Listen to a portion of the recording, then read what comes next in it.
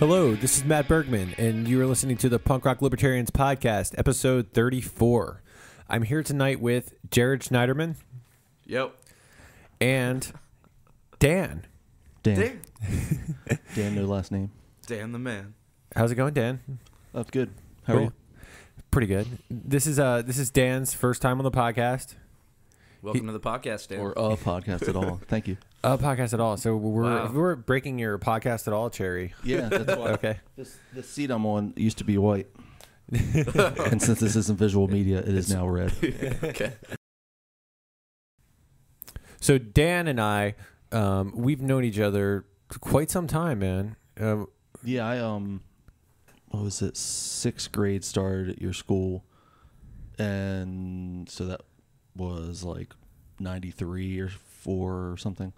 And your brother was one of the first people I met, actually, because we were both obnoxious assholes at the time. uh, One of you still is. Hey. Sorry, John. I haven't seen John in a while, so hi John. Oh, I love my brother. He- He's, No, he's, fucking a cool, awesome. He's a cool dude. He's a Yeah. cool dude. So, yeah, and then uh, back in the day, you know, we used to you know talk about bands and shit, and we even jammed a little bit. Like uh, my first band, we were kind of looking for a drummer, so and for a little bit, uh, we were. I remember we were jamming out and stuff. Yeah, there was a um, spackle bucket and a snare drum Yeah. involved. yeah, Spackle bucket. Yeah, it was it was pretty bad. Okay. Yeah. That- so there was no it's the hi-hat. things that It the just things went that like between yeah. middle schoolers do snare when, they can't find a, a drum set around. Okay. You know, so you, you grab a snare drum and a There bucket. was like some poles and stuff. yeah. That's cool. So yeah, so I mean, those were those are always like fond memories for for me. You know, Oh, me that too. was dude. a I had fun that, saw point. that visual in my head. Yeah, exactly. So, and then um, you know, we hadn't uh, we hadn't probably talked very much. I don't know if we were friends on on MySpace or not, because you know, p- people maybe, like maybe on MySpace. you know, yeah, I because so. people like here's how it goes for our, I think with our age demographic. Like you know, you're in like middle school and high school, and then you switch schools or whatever, Mhm. and then you, there's there's people that used to hang out with all the time, yeah. and then you like lose touch, and you then, have, then you like start few, to find the, people there's on the Facebook few that were still on AIM. or MySpace. Yeah, exactly. AIM was like, in my opinion, like the first social network. Oh or whatever, yeah, 'cause man. dude, I, I, had wonder. the, I had the screens just for a couple people. like were, like were we friends on AIM? I, I'm we not might totally have sure. I was. I had a bunch of different names. Like Big Hollywood was one of them. yeah, dude, we were friends on So, AIM. yeah, we probably were. Okay. See, the cool thing about AIM was like you'd go on and you'd actually be directly messaging people. dude, we Instead of should just, totally like, talk about the, the, cool things about. AIM, Yeah. dude. Well, the thing was, your What's away, that? your away, We should your away, the cool your away message was your status. Oh yeah, yeah. So yeah. like my status was always some really terrible lyrics from like yeah. And then they got whatever the cool where you could do like colors and like little fucking uh, buddy Yeah. icons and shit. yeah. Dude, I always had these like really like offensive buddy icons. Yeah, I mean, A- AIM, shit wa- was AIM fucking awesome. So then we were that probably was, yeah, we were probably was how, friends like, on MySpace I guess my first too. real like relationship came from AIM. And then and then only the, on and then the next one was MySpace, and the next one was Facebook. Nice. Oddly enough, that's just how it worked out for me. hey, uh, dude, Whatever you, works. You got to meet uh, you got to meet guys somewhere. yeah, I mean, sometimes you just need some dick, and all you got is AIM. So would you say AIM was like the the Grindr of your your Uh, early for, for, for my Dude, pe- for my pre-Grindr. people for my people at the time, yes. yeah. It's you know there wasn't many options. There's So- no such thing as an app. Yeah, man. So, um, and then it, it's always been we, we haven't hung out as much in in person like throughout the years. But I mean, I don't know. I mean, I've always kind of felt a connection with you because I hung out with you like you know quite we a bit back we then. had a lot of common, and also as bassists, vocalists, and quasi musicians, whatever you want to call it. yeah, musical playing in bands and I- shit. use, totally. Yeah, Yeah, I mean, it's it's basically music is a big part of both of our lives to yeah, say the and then we're least. you know, both I guess political as well and outspoken about shit. Yeah, we're both political. I'd, I'd say we're both conscious. You know, I, I think uh, I, we both care. You know, we both Yeah. have genuine concerns, and that's just something that we picked up like way back in the day. And I think Mhm. that's that's something that's like kept us both interested in, in each Yeah, other. and it was between you and um, Joel and a few other people that uh, got me into punk rock, which then obviously made me really conscious of things like that I wouldn't have Yeah, heard would you about. say that? Would you say that like most people in pop rock, pop rock, Uh, punk it- rock? I think it's punk rock. How do you I say think. Is it- I thought it was Uh, pop I'm rock not a huge fan. I just I- Um, I, think it's punk rock. um, no, but would So you I've say heard. like most people in punk rock are conscious, even if they're maybe on the wrong side of things, in our opinion? I'd say they are, even if it's just about like uh, issue. yeah. It- like it's du- you know, definitely dude from Goldfinger is like all about uh, vegan shit, and the, anything else, it's like um, all right. Right. But yeah, I'm sure. Yeah, I don't. I mean, could you name a punk band that Like you don't The have average- any super. Do average you really Joe's have like heard of that superficial? wasn't political? well, Yeah, like a the- superficial like one punk that band? wasn't political. Yeah, Uh, I mean, I don't, you know, like I that's don't when you get into What pop was punk. Blink? is Would you count Blink One Eighty Two as punk?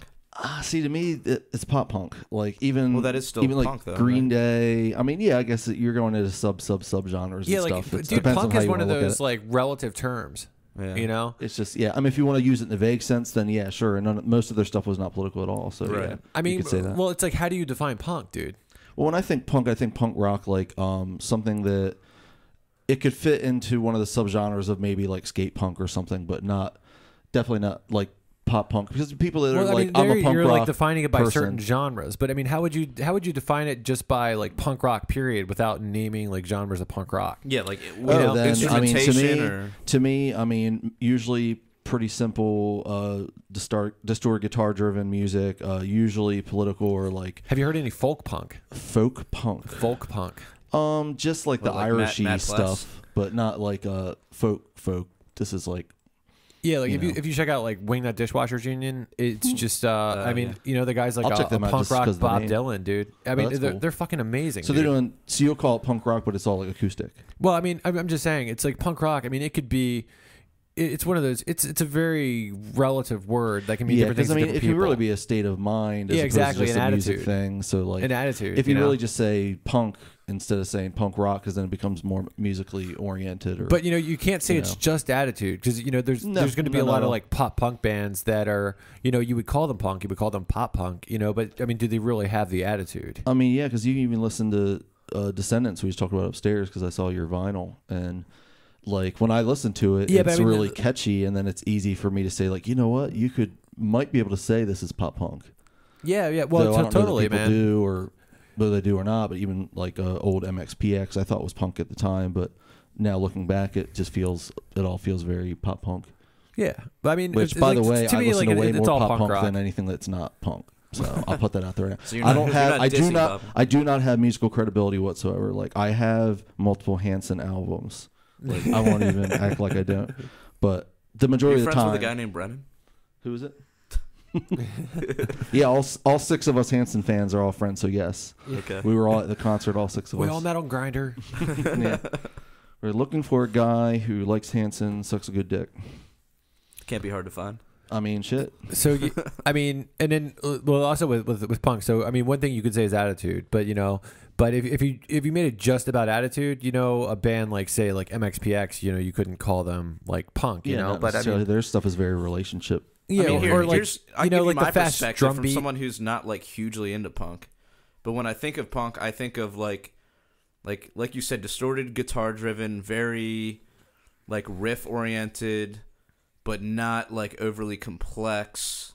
See, I don't But even know like that I a would say ro- if it's riff oriented because to me uh, it's chord progression Yeah, driven and like when I think of a riff, I think something that's like metal. outs- outside of chord progression. Right. Okay. Fair enough. But But you know, I'm not a guitarist either, so it's hard for me. I mean, to when I think of riff, I just mean like. I mean, I guess a riff is essentially just like a guitar melody, yeah, but like simplified yeah, you and definitely like, don't have like and um, repeated. like you know how there's like there's uh, technical death metal as a subgenre. You don't have like technical punk necessarily because Right, sure right. you do, dude. I mean, it- I'm sure you do have some punk rock that is technical. Do you have, like, that's not- progressive That's not a thing that mean, people refer to. They're not like. Do oh, you have pro- do you have progressive punk? I mean, hmm. I mean, That's a good question. Yeah, I mean, how wouldn't I'd you? be really interested to hear that. I mean, Yeah, we well, should. I, I, you know, I think you could. I think you could call Leatherface progressive punk in a lot of ways. I think you could even call Mm-hmm. like Max Levine Ensemble. They're like, you know, like from this region. Uh, they're like a pop punk band. I, I think they're like terribly progressive, and I love Yeah. it. you know? terribly progressive. Yeah, I mean, I like. I like it says terribly progressive, and I love I mean, it. I I feel like I feel like they're just playing something. Uh, t- they're playing something that's that's new. You know, they're doing pop punk, which has been done a million times, but they're adding their own spin on it. I guess what know, makes something anything new. progressive is either arrangements or something like audio wise that's outside of the box of what they would typically be in. Well, yeah, I think they'll do a lot of time changes, and they'll do ones that where it, they're not necessarily correct. Like they'll go out of time, but still make it work. yeah, yeah. And I mean, it's it's just fucking awesome. I mean, that's It's what I like. them. Um, and uh, I apologize in advance for bringing up my band repeatedly. I'm not, we don't make any money. We're not trying to sell anything, but um, we play. It's like chaotic hardcore, like mathcore, whatever. And we didn't record to a click, and I hope we never do, honestly, because the, you know we have these parts that like slow down or speed up or whatever, and we can just do whatever we want. It doesn't have to be like rigid in that way. I've So never feel like- recorded to a click either. So yeah, that's because yeah, I played in you know pop punk bands and stuff, and and yeah, they're when you go into studio and dude's like, all right, well this this this is the click, it's a two forty seven or whatever the hell, and you know we're gonna go by that, and I'm like, uh, anytime I go to record anything, I'm like, turn it off. yeah, it's just, uh, yeah. I've, I've never played a one. I, I don't care to. I mean, as long as you're recording like the whole band is sort of recording together. I mean, not necessarily I at the mean, same really, time, I but anytime I've done it, the, really drum, the drummer click. was, the drummer was first anyway. So once the drums are down, I'm like, yeah, turn off the click because I'm just going to go along with the song. Right, I don't right, need right. to hear the click. As yeah, as long as you the have a click drummer- becomes irrelevant after the drummer's as done. long as you have a drummer with like a decent sense of time, yeah. then you're fine. I mean, if your drummer And sucks, yeah, and I've had some, and I've had some that were not. So yeah. yeah, I mean, we had we had a drummer that performed we with for three years. I was in a band with, and he performed live with the click in his ear. Really? So we had to follow him for every everything He performed with a click. in his ear. Yeah, live. God damn. It was. Ugh. Wow. I had a lot of fun with that band, by the way. But the click part was the most annoying part of the band. Period. It wasn't in your headphone though, was it? No, no, no. It It's was just only his. in his, and we followed him obviously for time, as you would typically a drummer anyway. Yeah, hmm. So ugh, that's bizarre. I don't recommend it. I mean, I, I wonder if there's a, a large amount of people that do that. Yeah. Oh yeah. If anybody doesn't know what a click is, it isn't. I didn't know for a while. It's a metronome, like perfect exact timing that you go by. I just go And it goes click, click, click, click, click, click. Click, fuck Click, you. yeah. Click, click. click, Yeah. click, Yeah, so- click. Sorry, I should have said that earlier, but yeah. Yeah, we should do the podcast to a click. Yeah, totally, dude. Just have yeah. a click in the background. Oof. Yeah, so But yeah, yeah, progressive stuff. I mean, I mean, as like, long as it's it's funny because I, I will I will refer to progressive this or that, but I don't like prog because when you say prog, even though it's just an abbreviation for progressive or whatever, for me But that has its own like connotation. it turns into dream theater and Yeah. some really power metally sounding stuff that I just as much as I want to be able to enjoy it, I can't. Like I get into some Dream Theater. most most kinds of music, I've given like five or six different tries just to make sure that you know I can't get into it because I I want to understand the stuff is my big thing. Is I kind of I don't study it like formally, but like when you find out like uh, a few years ago, oh, there's this thing called djent, and I'm like, Oh, yeah, what the fuck is djent? I listen to Meshuggah.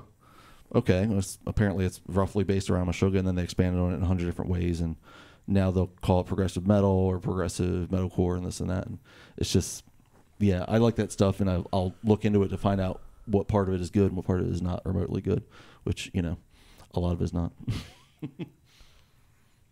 Yeah, um I like with uh with punk rock though. I mean, couldn't you name like I mean cuz I I could name like a whole ton of records where they obviously didn't record to a click. Yeah. And I mean, I can name records that I love where they go out of time. Mm-hmm. You know, and it's like eh, it doesn't really bother me, you know. It'll go out of time for a second, whatever.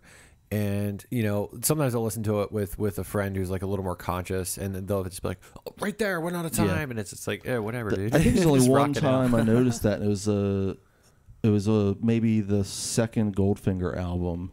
There was a song where he, they just go off, like the the and becomes the one or something for like three or four seconds, and then they go back, and I'm like, oh. Like just the the rhythmal the rhythmal whatever the hell word it is. I would have I would have thought that they would have played that, that they would have played to a click. Yeah, but like I think they ended up being like, okay, that's actually kind of cool. Let's just do it. I don't think they did it and it was a mistake. Unless they did it and it was a mistake and decided to keep it because it was cool. But it was just bizarre to me. I'm like, whoa, something's wrong with the world for a few seconds, and I'm like, okay, that's better. Is that Hang-Ups? It might have been Hang Ups, yeah, and that's probably my was the second favorite one. I'm yeah, I, I love that album. I got so that good. one on tape, and I, I didn't like it as much as the the first one. It's funny because I didn't own the first one, but um, do you remember Zach uh, Hosford? Yeah. He was in our grade, so he was part of our small clique of the few white people that were there, and um, it was me and him and a couple other dudes. But Zach had the first Goldfinger album. We listened to it like up at his place a few times, and I liked it a lot. But I didn't end up buying it myself for some reason. But then I was at Best Buy or whatever down the road when Hang-Ups came out, and I got that, and then became like obsessed with it. So that I guess a lot, it's funny because a lot of music for me is nostalgia. So like I'll go back and enjoy that particular album more. and you'll than think the about that time in your Just- life. Well, no, I don't even. No, I don't even like actually think about that Think time. about I you, just, Matt. really doesn't like. br- It's just br- from. doesn't a- bring you I mean, back it, to that it time can. at all. It can, Yeah. but like Not most of the time every it's time just- you listen to it, but yeah, most of the time it's just I tend to enjoy the first album I got by a band more than whatever I got later on. Like I can a lot of times I can kind of zoom out or whatever and realize like oh this is terrible like like Pokinatcha or something by MXPX. Yeah. Like you listen back and you're like okay yeah a lot of this is pretty terrible, but I'll still put it on once in a while and I can enjoy it because it's fun and you know yeah, there's, there's a couple good songs on that record. yeah. and I brought that up. I, I, as dumb as it is, I saw especially I saw like them at Warped 15 when Tour. they made that or something. Yeah, I saw them at Warped Tour, and Mike was Mike, the singer bassist guy, was just walking around. And I just like I wanted to walk up to him and meet him just because I've always listened to his music. And I was like, uh, I was like, dude, do you guys bring out any like songs from Ya? and he's like, what, is, what the hell is this guy doing talking to me about Pokinatcha? And he's like, yeah, we do PXPX once in a while. I just wanted to be able to say that I met him because I thought it was awesome because I you know love their music. So it's Yeah. just yeah. Which Warped Tour was that? What's that? Which Warped Tour was that? Oh shit. Um between 03 and 05, I think. So somewhere in there. Like I actually I saw It was right after Panic came out, the MXPX album Panic. I, I, So I I think have think I had a 05. burn copy of that or something. Yeah. Because I yeah, that was at the time I guess between 2000 I guess between 2000 and 2005, I worked under the table and didn't have that many bills, so uh, when it was Tuesday or whatever, New Music Tuesday, like whatever I got paid that day or the day before, I would just basically go to Record and Tape Traders in Glen and just spend like all of it. So, so I spend like at least like eighty bucks there a week, and then like I'm still friends with some of the people that worked there because I was just there all the time. and that was when I got you know more of the MXPX discography, and then into a bunch of really weird shit that I'm into. Yeah, like for for me, I saw them in '97 at uh, when they were still touring on like Life in General, yeah, and I think uh, that's probably my favorite album by them. So it's yeah, that's it like definitely the is actually really. yeah. I, yeah, I didn't see them. They were pa- definitely past what people would call it, like I guess their popularity and the, the Descendents played that day too, oh, and, dude. and, and they both played on the same stage. And it's funny because I was into that. there's a lot of good bands played that day, but I Yeah. gotta say it was funny because like the Descendents and MXPX were easily the tightest bands there, Yeah. and it was probably like the youngest band and the oldest band. and also as a three piece for MXPX, it is easier to be tighter.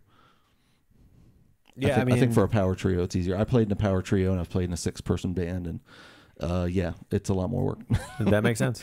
this is twice as many people to screw up. So, yep. but yeah, dude, seriously, like um, maybe second thing I do with a time machine is go back to those kind of shows and, and get to watch those. Like, I mean, first thing is obviously buy some stock in this or that so I can be rich as balls. But Yeah. yeah, second thing is go check out those shows because I was, I think it was '96 or '97. I got a Warped Tour compilation at like Sam Goody, which shows you how long ago it was, and it had um, is actually the song that got me into NOFX. It's it's my job to keep punk rock elite or whatever. It's the first song on um, so long. Tank- Thanks for oh, all the yeah. shoes, and I was like, oh my god, this is just the best thing ever. So next time I went there, I got that album by NOFX and was obsessed. So I was into all that stuff that was like on the compilation, but I still wasn't at the point where I was going to Warped Tour every year like I ended up being once I was older. Though I don't know if you pay attention to Warped Tour now, dude, is like metalcore central.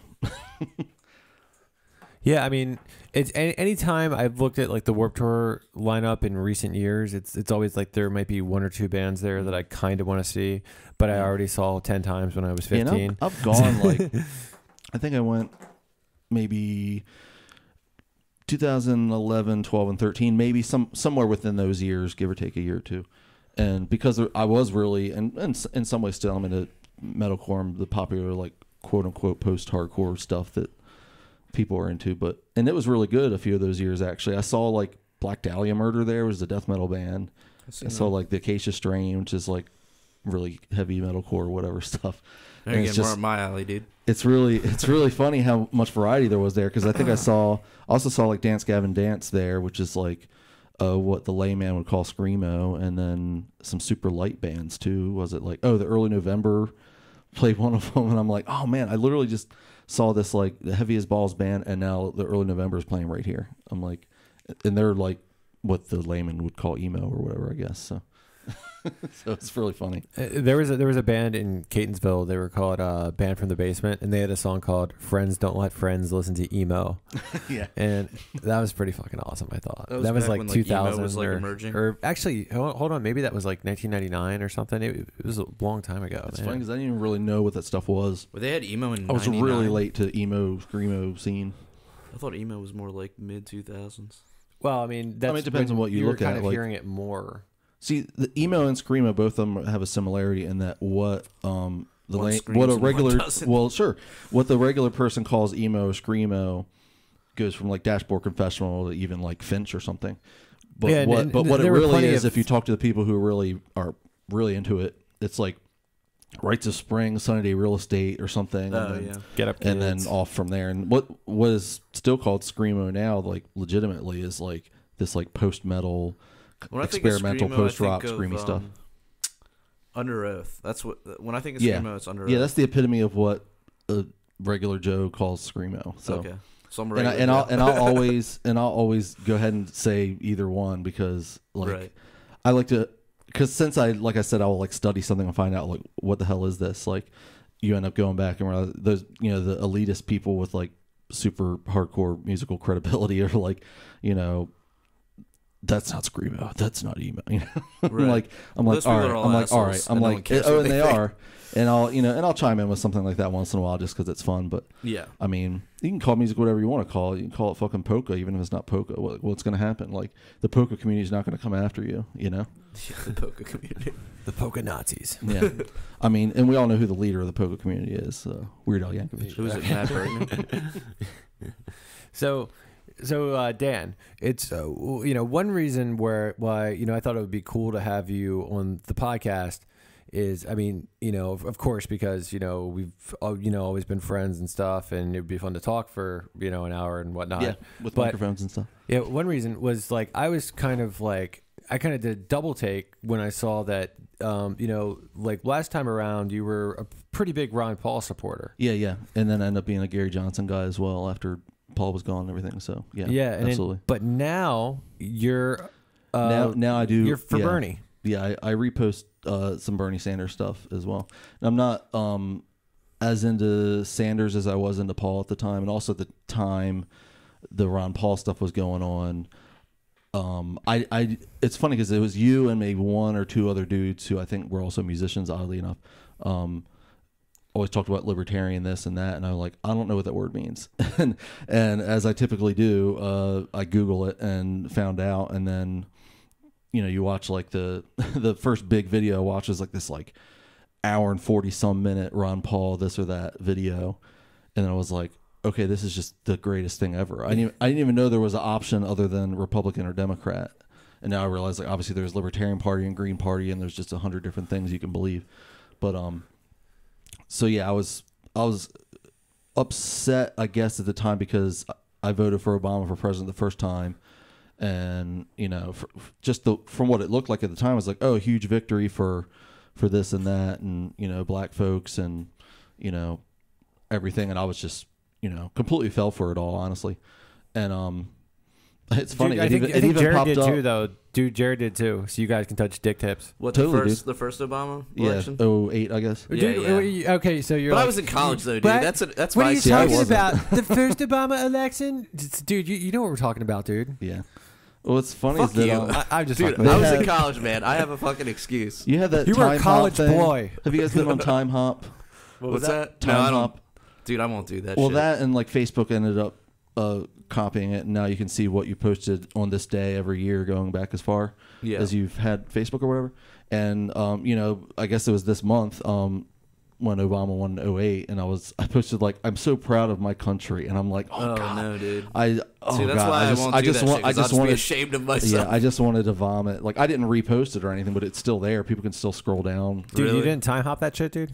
uh no i didn't didn't fucking. Should I have mean- time hop that right off I your mean, timeline, honestly, dude. it, it actually I probably should be No, like, wait. hey, this is this is how fucking stupid you can be when you're posting political stuff, all of you, myself included. no, I mean It's a- a- it's anybody can. warning. I still post dumb shit yesterday. So, So, I mean, it's uh, but you know, if you're like, I'm proud of my country. I mean, yeah, it's it, it's pretty cool that uh, you know, civil rights has went that far to where you know, a Yeah, black man, and- and I uh, can be black proud of it for that could be reason, elected yeah. as president. Yeah, and I say that was the only great thing about Barack Obama wasn't yeah, he was black. yeah. I mean, he, but I mean, it, he just turned into. Uh, he- he turned into, and, and I want to say I predicted this. I'm going to be a dick and say that it's Oh, just going to it's happen. He, he was just a darker shade of tyranny, you know. But I mean, tyranny is tyranny, you know. It, it just doesn't fucking matter what color it is. it you is know? and one of, one of the of bigger tyranny. things. Yeah, one of the bigger things I Fifty repeated a Shades lot. of Tyranny. There you yeah, go. totally. Dude, that's the name of the in podcast. my- That's the name of my book. I'm writing that down. I guess in my hardcore Why don't you Ron jot Paul that down, Jared? And don't drop any more beer bottles. down. Some, someone had said uh, probably you guys would probably figure out who it was. It was uh, everything comes down to two things: it's either freedom or tyranny.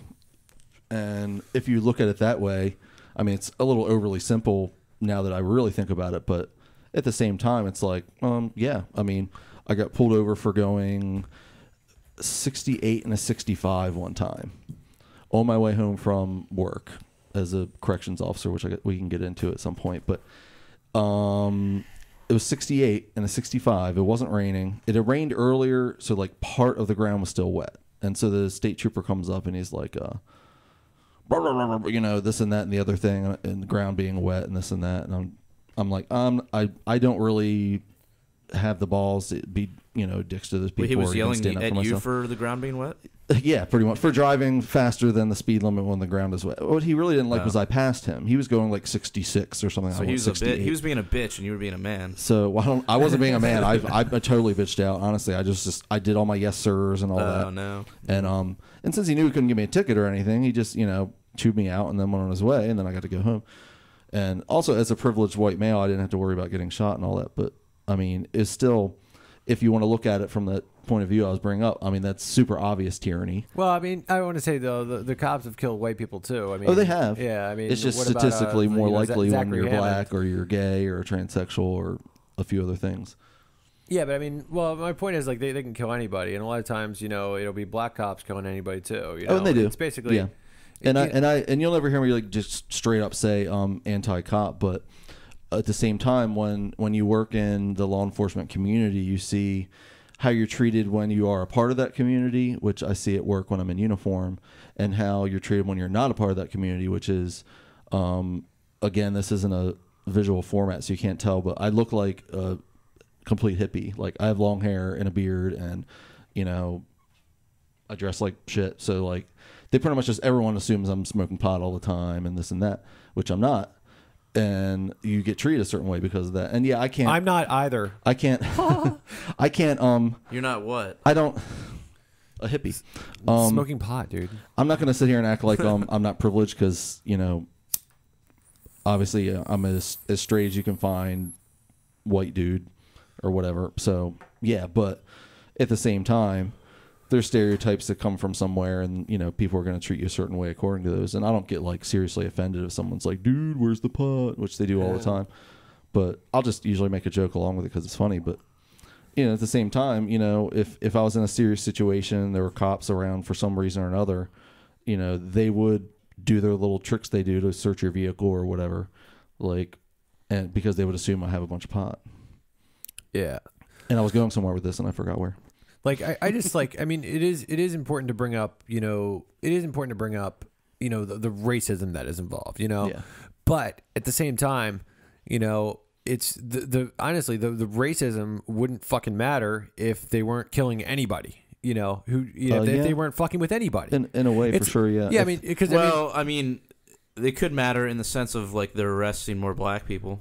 Well, if you look at it this No, I way, mean, someone, that's someone brought pretty- up recently, and I thought it was really interesting, was that uh, the firemen and women, the fire department, however you want to refer to them as, they don't go out looking for fires, Yeah. and yet the police go out looking, Looking for, for- for whatever whatever they're supposed to be looking for, you know. And I'm like, you know, imagine a world, in a world where, like, imagine where they're at the police station, and the police stations are, you know, scattered like the fire departments are, like, kind of, you know, in your neighborhood and then you know when they're called they can get there real quick if they're needed but otherwise they don't So you mean like a private protection agency? no i mean i mean even if it's just the way it is now except they work like the fire department they just they wait at the police station yeah so instead of being so out people wouldn't- driving around Okay. well I mean so i I- was like if like, and, and I'll you know Uh, suspend disbelief just because. I think it'll be interesting. I'm like, what do you think things would be like if that was the case?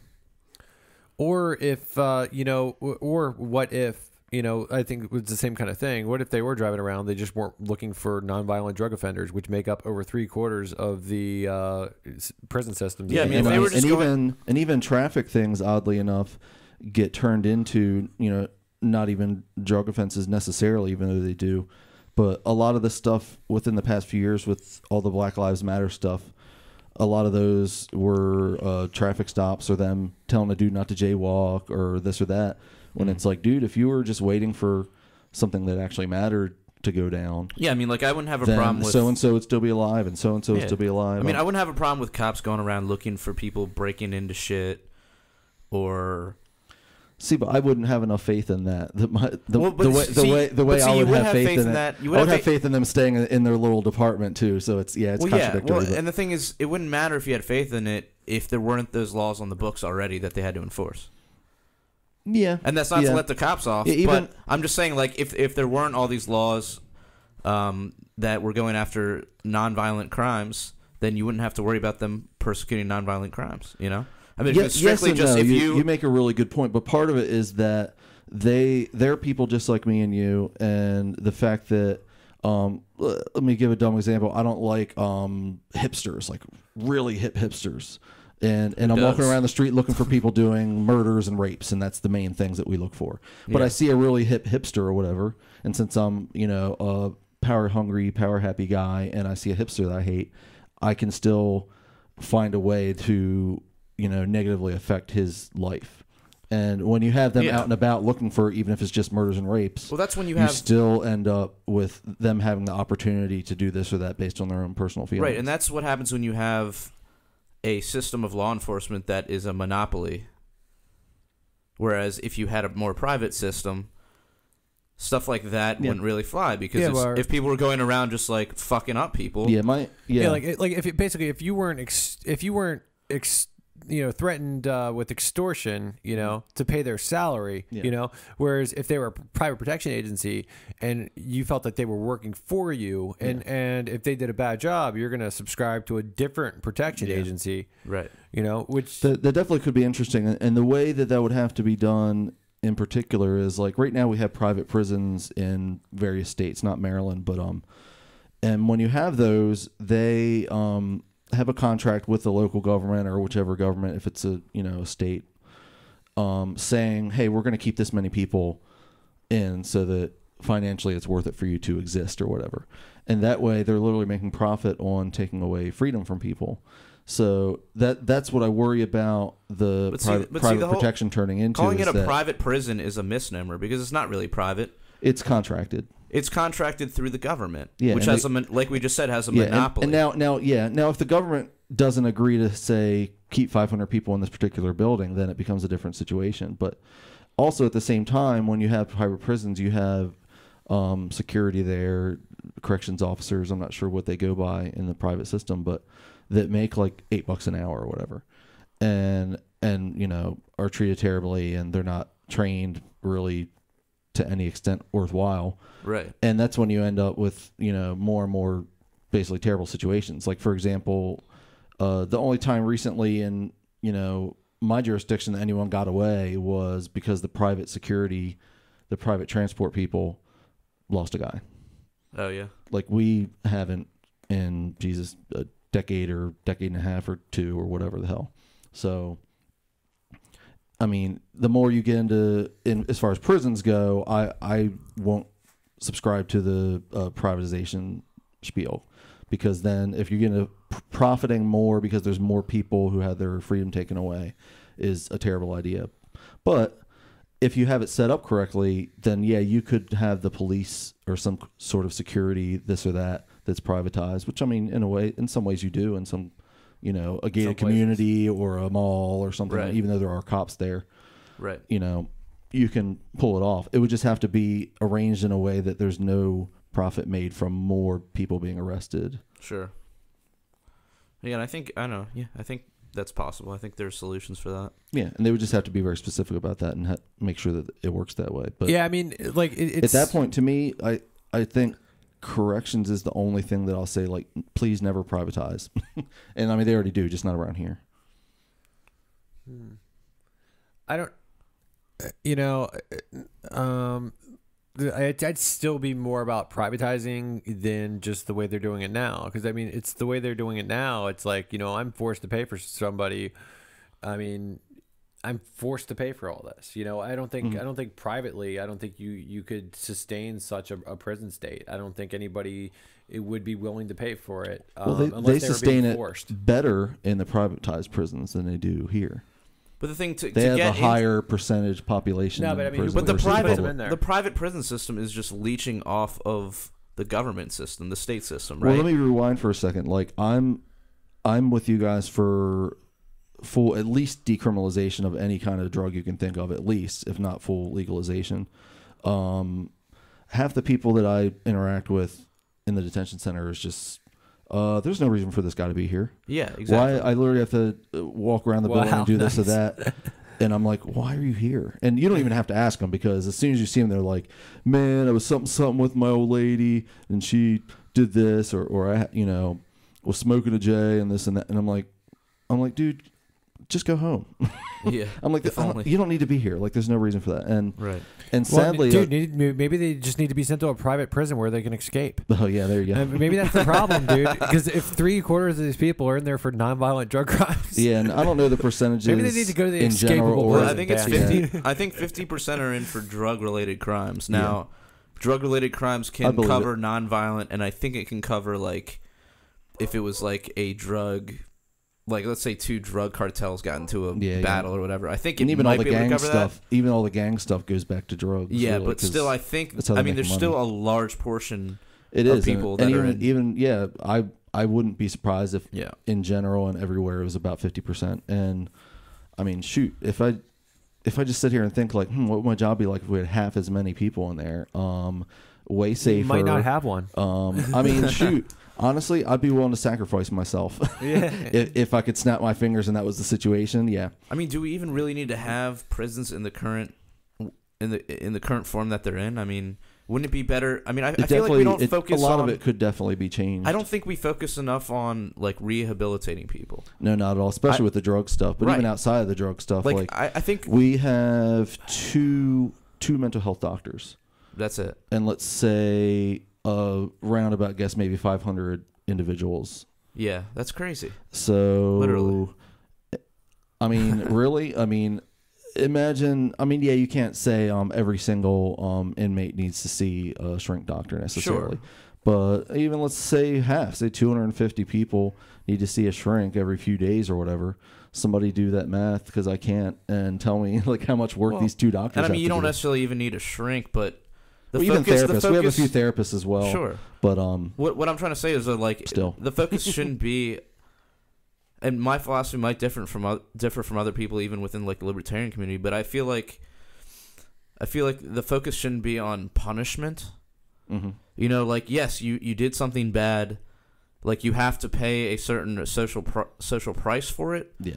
But the focus should be less on like just punishing you like a fucking little kid, make you know that's getting made Because to it's sit in not the corner. solving a problem. They're, No. they're there because of a problem. Right. They need there's something that went wrong in their lives. hmm Most of them are and most of them are capable of rehabilitating beyond that. Yeah. I mean, yes, you're going to have a um, s a small portion that are like psychopaths or whatever. Yeah, some of them it's like that's so oh, very there's only so small. much we can do, It's but the it pop- is a very small percentage. Right. Like But of most people, people I've just met, and, need- like this guy is actually crazy, like, Right. and it's very rare. I mean, I've seen all sorts of things like, you know, like meditation classes, Mhm. like uh, there's so many things you can do, and you can even on the outside change if you're changing the communities that a lot of these folks are into, or you know, from and live in. I mean, Oh yeah, there's also prevention to keep them from getting there in the there's first place. so many things you can do, and there's just little interest in doing it yeah. from you know the general population one, and even more so anyone inside the government. Right. So wait, I think we kind of sidestepped the whole thing about you being into Ron Paul and then getting into Bernie yeah. So Sanders. my thing was, I never, I was always independent um, until I wanted to vote for Ron Paul in a primary because I never believed in the two party system, and I still think it's terrible. Yeah. Um, so I was always independent, and then I wanted to vote for Ron Paul in the primary, and I was like, you know, I, I'm looking around suspiciously right now. Sorry, that's just how it work. And Yeah, I was that's like, I was like looking around. I was like, I'm going behind enemy lines because to me, like the, you know, the media makes it really easy to hear all the crazy stuff, like you guys talked about last week or week before, like what um Carson talked about the pyramids and stuff and stuff like that. So it's really easy to hear that stuff because I mean, well, one, they always say things like that, and two, it's you know we have 24 hour news networks out the wazoo, so they need something to talk about. So they're like, oh, let's go back to a Carson speech from 20 years ago or whatever it was, and he talks about that. And he might have just said it offhand because he thought it would be kind of funny or interesting without doing any research, which is probably what it was. But I mean, either way, I don't want anything to do with him. But at the same time, I mean, yeah, I go Republican because I wanted to see if we could get Ron Paul as the as the main dude. And but to me, my view at the time was the Republican is just oh that's ridiculous that I would ever be a Republican because no the people I knew weren't Republican. Most of my friends weren't Republican. Um, anyone who was didn't even like brag about it. Same, yeah, same thing with me. Same thing. Same thing with my view. Like I, I figured out, and I mean, I, I was probably telling you shit, this shit when we were teenagers. Like I figured it out when uh, I was like 16 or 17 years old. That just the both parties were bullshit. Yeah, You know, and you know, because you literally have two sucked. choices when it comes down to it. Exactly. Yeah. even like even in the shitty and less- Republican less primary, or- or they had and shitty. two two big uh, what's it called where they all argue on stage. Sorry, I have a debates. Yeah, and they, they have two different on ones. stage? So I have a thing where I'll forget what a word is, like the or and. Yeah. But um, yeah, they had two different tiers of that with like ten or more people in each of those, and you know, I mean, yeah, sure, you get to pick from those people in a way, but most of them are dropped out by the time the primary comes along because of polls, this or that, and you know, you end up with you know just a few people to vote for in the primary, and and even in in this state, I'm not sure how many let you, but you can only vote in the primary in Maryland for the party that you are officially in Yeah. As on your opposed to voter other ID card. And I'm like- primaries. and Yeah. and in a few states you can vote in all the primaries. You can Yeah. go in there and say, okay, um, this guy is the least terrible of all Wait, this group really? of people. There's states where you can vote in any primary. yeah, it's called Yeah, an and open primary. yeah. Uh, New Hampshire's one of those states. and honestly, Wow. every state needs to be doing that because you get to control what you vote for. Because really, voting doesn't mean shit if they're like the South Park was like shit sandwich and douchebag or Yeah. use use Piece of tampon shit or something terrible. sandwich. Yeah. And I'm like, Yeah. yeah. this is literally what you get to choose from, and just on a bigger scale when it's the primary. So you should get more. I mean, shit. It should be. I mean, typically, you still see Libertarian Party this and Green Party that on a lot of um, ballots. So you should be able to do the primaries for those, and the primaries for the Democrats and for the Republicans. Or you know, you could do uh, like instant runoff voting. So, and the way that works is like, say you could pick your your favorite candidate, right? And say you want. Um, so right now, most people have. Oh, it's uh, like a point system, isn't it? Well, yeah, most people have this reservation to vote third party right now because Mm-hmm. they think, well, if I vote libertarian, you know, then then so and so. Most people are wrong, by the way. Yeah, then my vote's going to go to. Well, I mean, this is just their idea. Then my vote's going to go to. Um, It's all you know, lesser of two evils. yeah, exactly. So, but uh, in in with instant runoff voting, if uh, you can pick your first choice and you don't have to be scared to vote for like a third party, Yeah. because if your first choice loses, then your vote automatically goes to your second Uh, choice. See, that's a really good idea as well. Yeah, totally. You Because can- you can I've heard totally- something like that. That's like a point system. Like I can give five points to Ron Paul, and you know four points to. Why not just go to and instant that guy. runoff though? I mean, that, Yeah, doesn't make, because even then you're like, well, if I don't give all my points, Well, yeah, to yeah, the, yeah. Then the points guy, go away. So you're right. Yeah. So basically, they should just give you the whole list of everyone that's possible. And anyone that you Yeah, want like you to can- be you your like, first pick your- choice, second choice, as many order, yeah. choices as you want. Then yeah, once that person is out, then that your the other person gets bumped up to one or whatever. Totally, and there's other really countries around the world who do it like that. Is but, there any is there any states or anything that do that? Uh, No, not that I've No, ever I heard don't of. think so. I don't think any See, the, place the in America problem does. problem with America is Well, the um, Democrats and the any good Republicans are in ideas control. overseas. Yeah, any It, it's why are they going to want to do Exactly, anything to jeopardize their power? exactly. They're the people that would have to make put such a decision yeah in because place. they run the joint. but I mean, they figure, well, why would we do that? I mean, we have everybody's votes anyways. and- why would we want to open up? Why Yeah. would we want to open up things for competition? exactly. So, but I mean, I don't, I don't want some Joe Schmo coming in here who isn't a part of this party or that party And you know, to be I- able to beat me. I think it's a, it's a total liber, libertarian thing. It's a total free market thing because you know what we're, what we're all saying here is uh, more choices. You know, equal um, better options. Yeah, you know, and uh, you know it, it's basically if you would do this, it would actually make the Republicans and the Democrats that much better because they would have Yeah, stiffer ha- competition. they have to keep you interested in them, and they'd have because they could easily lose their job, which you know. Yeah, I mean, it could easy the the two party system could be abolished pretty quickly if you Yeah. got a, if you got a few like libertarians in power and they were doing a good job and, and buzzing up a steam on the interwebs, and, then, and then you get some green people in there Got- and get- they're doing a good job likes. someplace.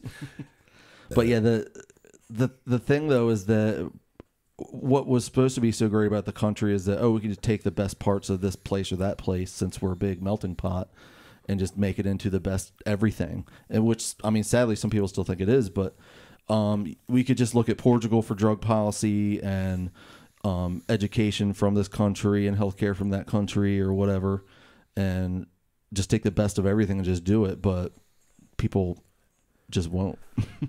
Well, you know that would like, be oh, uh, we're not Portugal, or we're not Denmark, and it's like, yeah, but if you if you look at their example, everything is just needs to be done to a different scale. There's just more people. Now the problem is here is that there's more people, and a lot of them are stupid, so they won't subscribe to any new good idea. Well, also, you know, if if you ended uh, the federal Department of Education, right, and uh, which you know Gary Johnson actually put it this way: if you end the federal Department of Education, you just get them out of the mix. You know, so you stop sending money. Um, to Washington D.C. only to have a bunch of it lost there in a bureaucratic black hole, and then they just send whatever's they haven't squandered back to Yeah. your state, and, you know, yeah, and that's a really good example because uh, it's something I brought up to uh, one of my best friends as a like fifth grade teacher, and um, I'll be like, "Uh, "Why do we need a federal Department of Education and this and that?" And she's like, well, "We need that money," and I'm like, can "You realize you would have had that money before."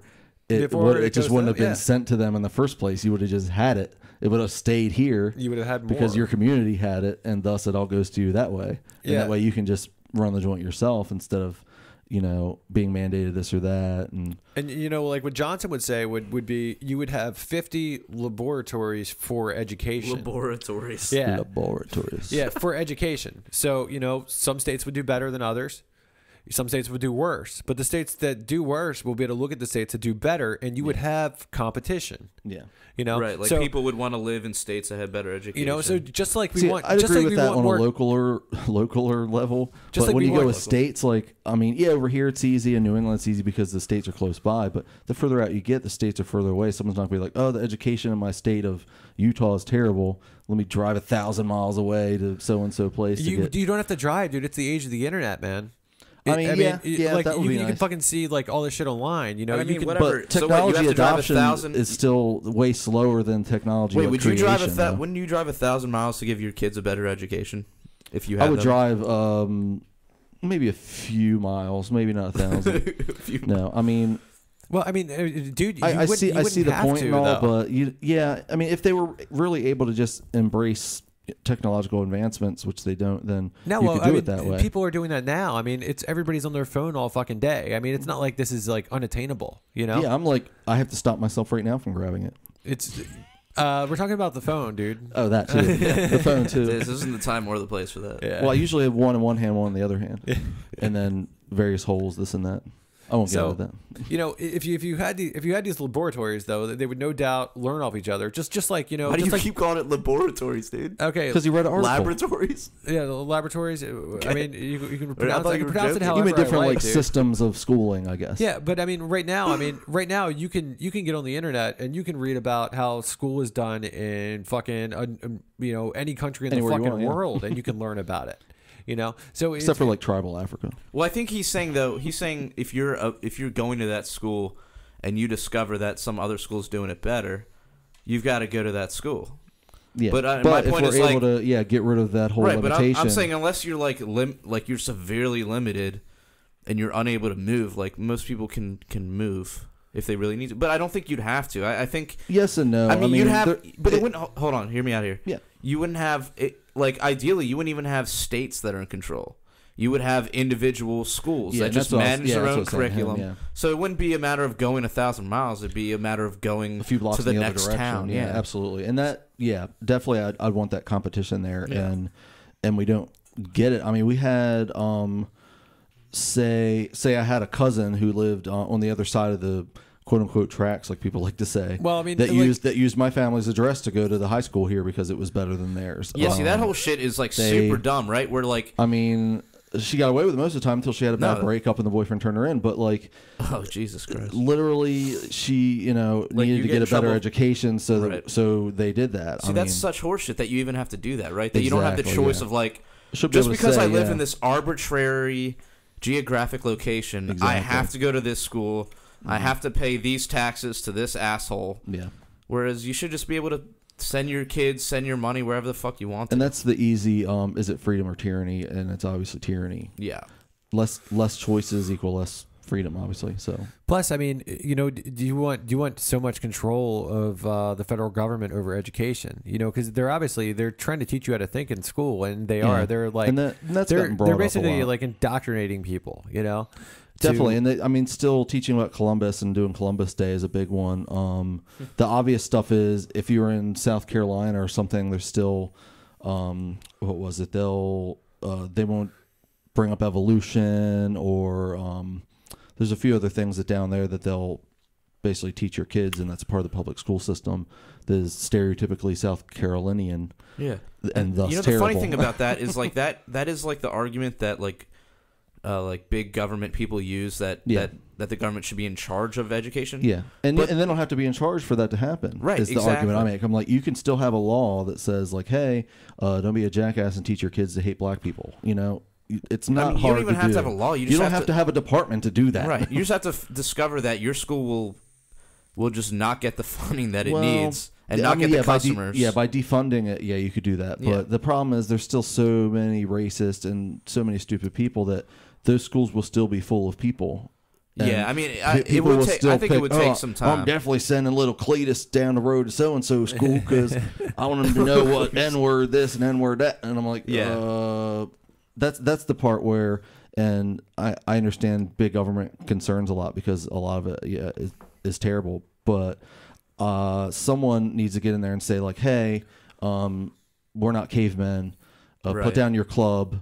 Um, But I mean, join if- us in the civilized world. to sort of to uh, to kind of set up a little contradiction or not a contradiction but an argument against that i guess would be like i mean even if you send a kid to school he's still got to go home to his parents and if his parents are huge pieces of racist shit yeah, they're like it doesn't matter if, if the teacher yeah. And i mean unless lot of- johnny's really special and he's able to really think for himself and he's like you know what this teacher makes more sense than my folks Yeah. yeah and that- Unfortunately, Johnny's not. right Well, I don't know, man. I, I know a lot, lot- of people. I know a lot of people who have. Uh, I know a lot of people who aren't racist who had racist parents. Yeah, I I didn't have racist parents, But but, is it because of uncles and school or is it stuff all the because- time, but Is it because of school or is it because they like went out in the world and they realized like, oh, m- people are pretty cool that regardless of black their guy skin was really color. nice. yeah I mean, who who knows? I mean, it could be you know different things for for different people. You know, but I, I know. Fact is, I just know a lot of people who aren't racist who had racist parents. Yeah. So I mean, And it's not I mean, it's not all encompassing. You can't be well, like, at the oh, same they're time, I'll, I'll agree with you. kids to People do grow into their parents in a lot of ways. You know, Mm-hmm. while I'm different from my parents in a lot of ways, you know, I can do some things and I can be like, oh, that's something my dad would do, or oh, that's something my mom would do. Mm-hmm. Yeah. You Yeah. know, it's like I mean, you know, you're part of their DNA. You know. Yeah. So. I you mean, gotta, what it really comes down to is uh, where do we draw the line between what should be taught by the parents and what should be taught by the school? I don't think. It, I don't think it's. I don't think it's. uh, I don't think it's do my place to draw the line. Well, yeah. I mean, well, one because I you, mean, you don't have kids, right? I didn't think you had No, I mean, I, honestly, well, one, don't I don't think. I don't think I have any so right to tell your you. kid. I don't think I have. I have any right to tell you um, how, how you should raise your kid. Well, yeah. I, Agreed. I don't have As any long as right. you're not beating the shit out of your kid. Well, let me go. Let me go with Okay. this. Okay, I don't have that right. Okay, so and furthermore, you know, I don't think I don't think I and Jared have that right either. I don't think Jared and I have any more right to tell you how to raise your kid than I have the right. Okay, but Two if we were by the if we were taking No. a vote, if if this basement was a democracy, you know, Jared and I could vote and tell you how to raise your kid. Exactly, yeah. and that's a, a tyranny And of that's the a majority. That's a problem. Yeah. It's just um. So I mean, I- mean, it's basically then, it raises the then question. some of the points is do you le- just teach the kids like, hey, these are various things that people believe in in our country, or evolution is a thing people believe in, or do you teach us, hey, uh, I know you talked about this recently. As science says, this is true and that's true. The sky's blue because of this and stuff like that. Uh, you know, are you able to teach the kids that, and then some places yes, and some places no because um, parents threw fits or whatever, saying like, "Oh, you taught my kid that evolution was absolute and it's totally a thing," when we believe in creationism, and, We know- and I- vice versa. It's happened But both I, I feel like the issue, the places that suffer from those issues are like religion is so deeply entrenched in there Mm-hmm. that it doesn't matter if you dictate from a central government. Like they're gonna find ways around it.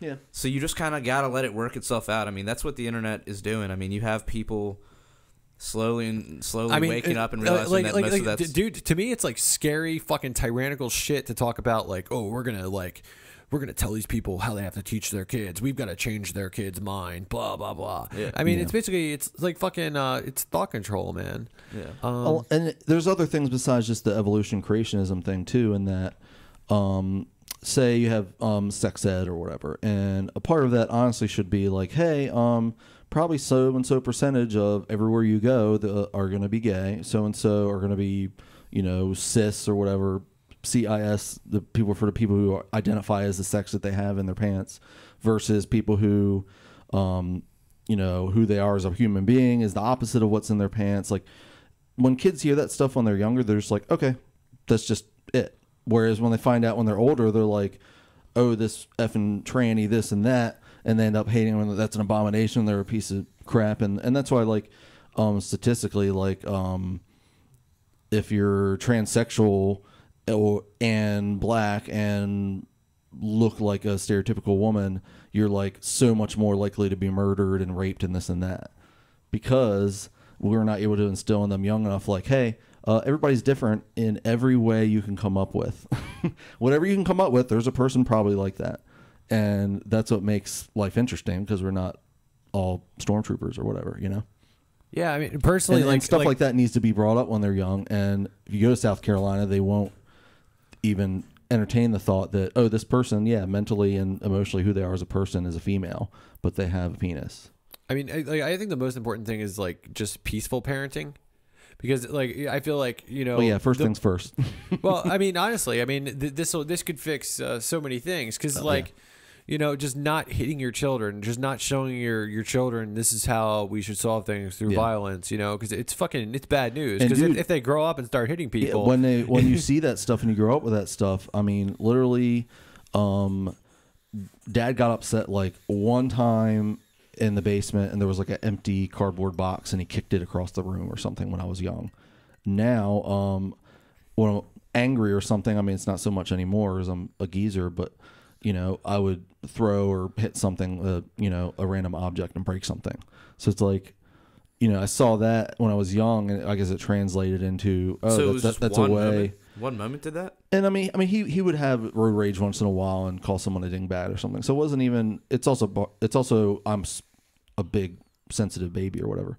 But at the same time, um, you know, you grow up when you're beaten by your dad, you end up beating your kids half the Yeah, time. of like course. Yeah. that all that stuff is it's beyond genetics. It's like, you know, genetics and It's what you environment. see. You know, Yeah, it's monkey see, monkey do, and all that. yeah, I mean, uh, you know, I don't I don't think we should accept uh, you know the initiation of force from uh, other individuals or by government. Yeah, and you brought up recently the um, was it non? There's a phrase for The it. non-aggression principle. non-aggression principle yeah Yeah. and um i had i had seen that like brought up in a lot of um instances especially in libertarian circles and i haven't read like is it a big thing that's like written out or is it just like hey this is common sense don't in, don't instigate It's, just- It's kind of like the golden rule of libertarianism. yeah Right. It's like do do not initiate force, which initiating force means yeah and i'm yeah and i'm You know. um dude it's so funny because um at work i pretty much go by that i Yeah. literally will never touch a human being like unless they're like swinging at me or something so right. And dude uh it's so much better in every way. Yeah, yeah. because i have people that like unfortunately recently we were forced to do uh, what's called a hands-on escort for some people. So you have to like hold their you know upper arm. And um it's a terrible idea 99% of the time because you are instigating you know physical contact where Right. before this wasn't physical. Before like even if the guy was like mouthy or giving you a hard time or anything or even if he was completely silent didn't say a word if you, Yeah. you hold his arm all of a sudden this has become physical i'm being physically manipulated Right. and now and that obviously takes things to a certain place so Yeah.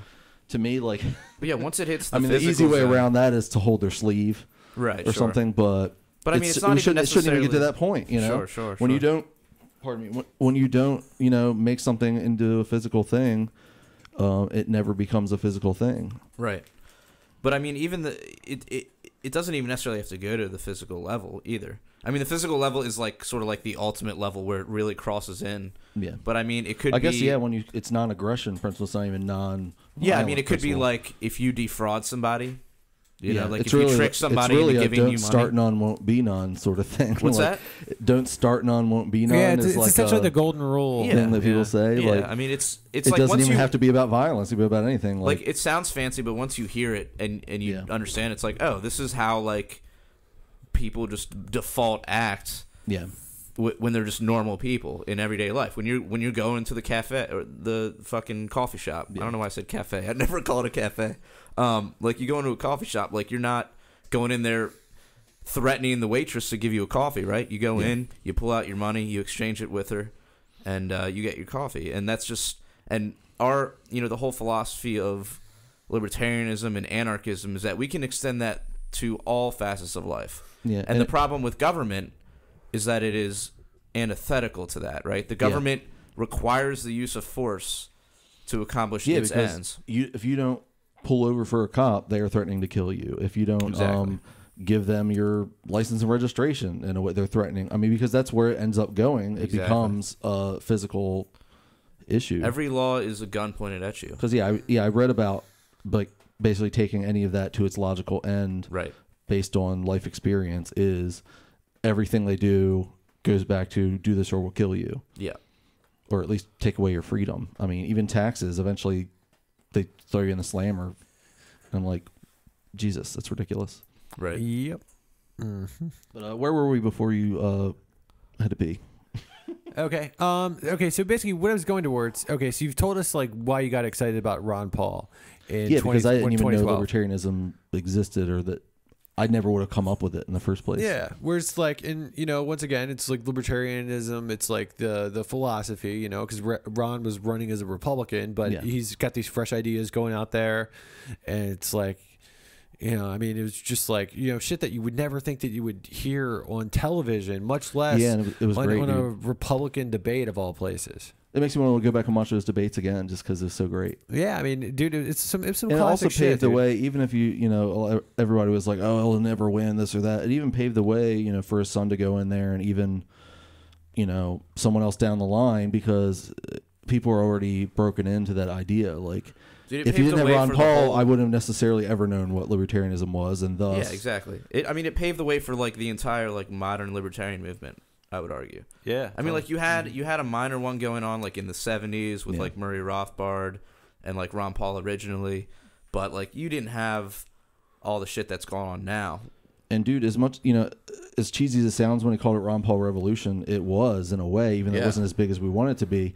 Because I literally had uh, just random people throughout my life that ended up being into Rand Paul or didn't know what he what his deal was at all. And yeah, they would come to me because I posted, you know, You probably Ron Paul, right? uh, Ron Paul. I'm sorry about I posted way too much stuff online about it, which got obnoxious to a point.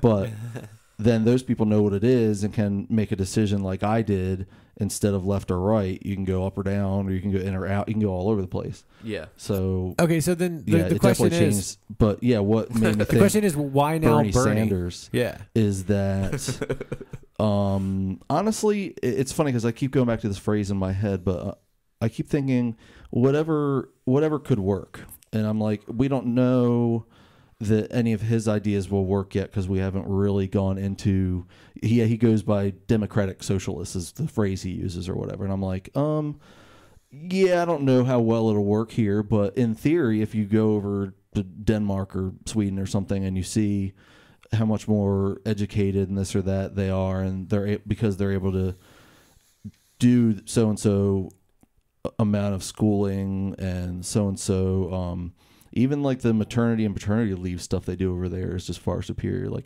i just like to look at other ideas and think you know that that would be really interesting i like how it works over there i wonder how that would go here Well, there's actually an article that a dude wrote for Punk Rock Libertarians. It was entitled "Denmark: Paradise of Fools," Yeah. and he's actually from Denmark. He's H. Roland J. He was actually on Yeah, the well, my, podcast. my daughter's godfather is from Denmark too. So now I haven't talked to him about this stuff, but yeah, I do need to, you know, really dive into it. he didn't really he didn't really uh, i'm being uh i guess i'm not really i mean he You can paraphrase. uh, well in other words like he really hates it over there Yeah. you know and, and he, he says why i mean it's, and it's basically because there isn't much freedom and I mean, he know- has to get a license to operate a TV. What Yeah, do I he turn has to on pay- his TV? Yeah, no, dude, to like dude. to like get Three hundred channels on his seventy-five- TV. yeah okay check this out you have to pay $375 every two years to have like your your tv license right and you have to have a TV license or whatever um, to be able to watch TV. To And watch TV? To be able to watch TV, you have to have Does your it TV have a license. TV? Who watches TV anymore? No, It's teasing, at, but at, any rate, so you have to have this license to watch TV. Yeah.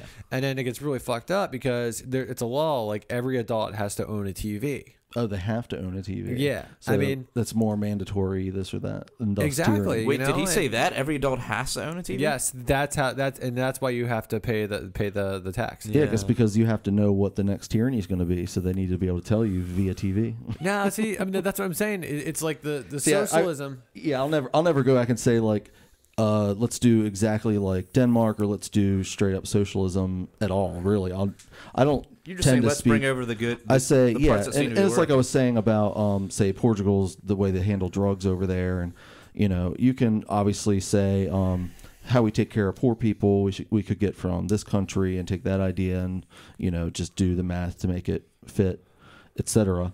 And you don't have to have TV licenses, you know. So like I won't sit there and say like screw you guys I'm moving to Denmark because Denmark is great in every way or whatever. It's not even about any particular place because honestly, I mean my main thing is I'm not going to leave all my people, regardless. But really, best case scenario is you, like I said, take any good idea from anywhere and hey, let's give that a try. But we never give anything a try here. All we do is um, say no. Well, I mean, I don't know. I mean, I only like, say like no to drugs. see. I don't know. And it's easy for me to bring Well, up, say, see, um, hold on, me- Republicans in Congress being, uh, uh, let's make sure we just stop whatever they want to do and stuff like that. Well, like going I- I off of your idea that. of like borrowing different ideas. Yeah.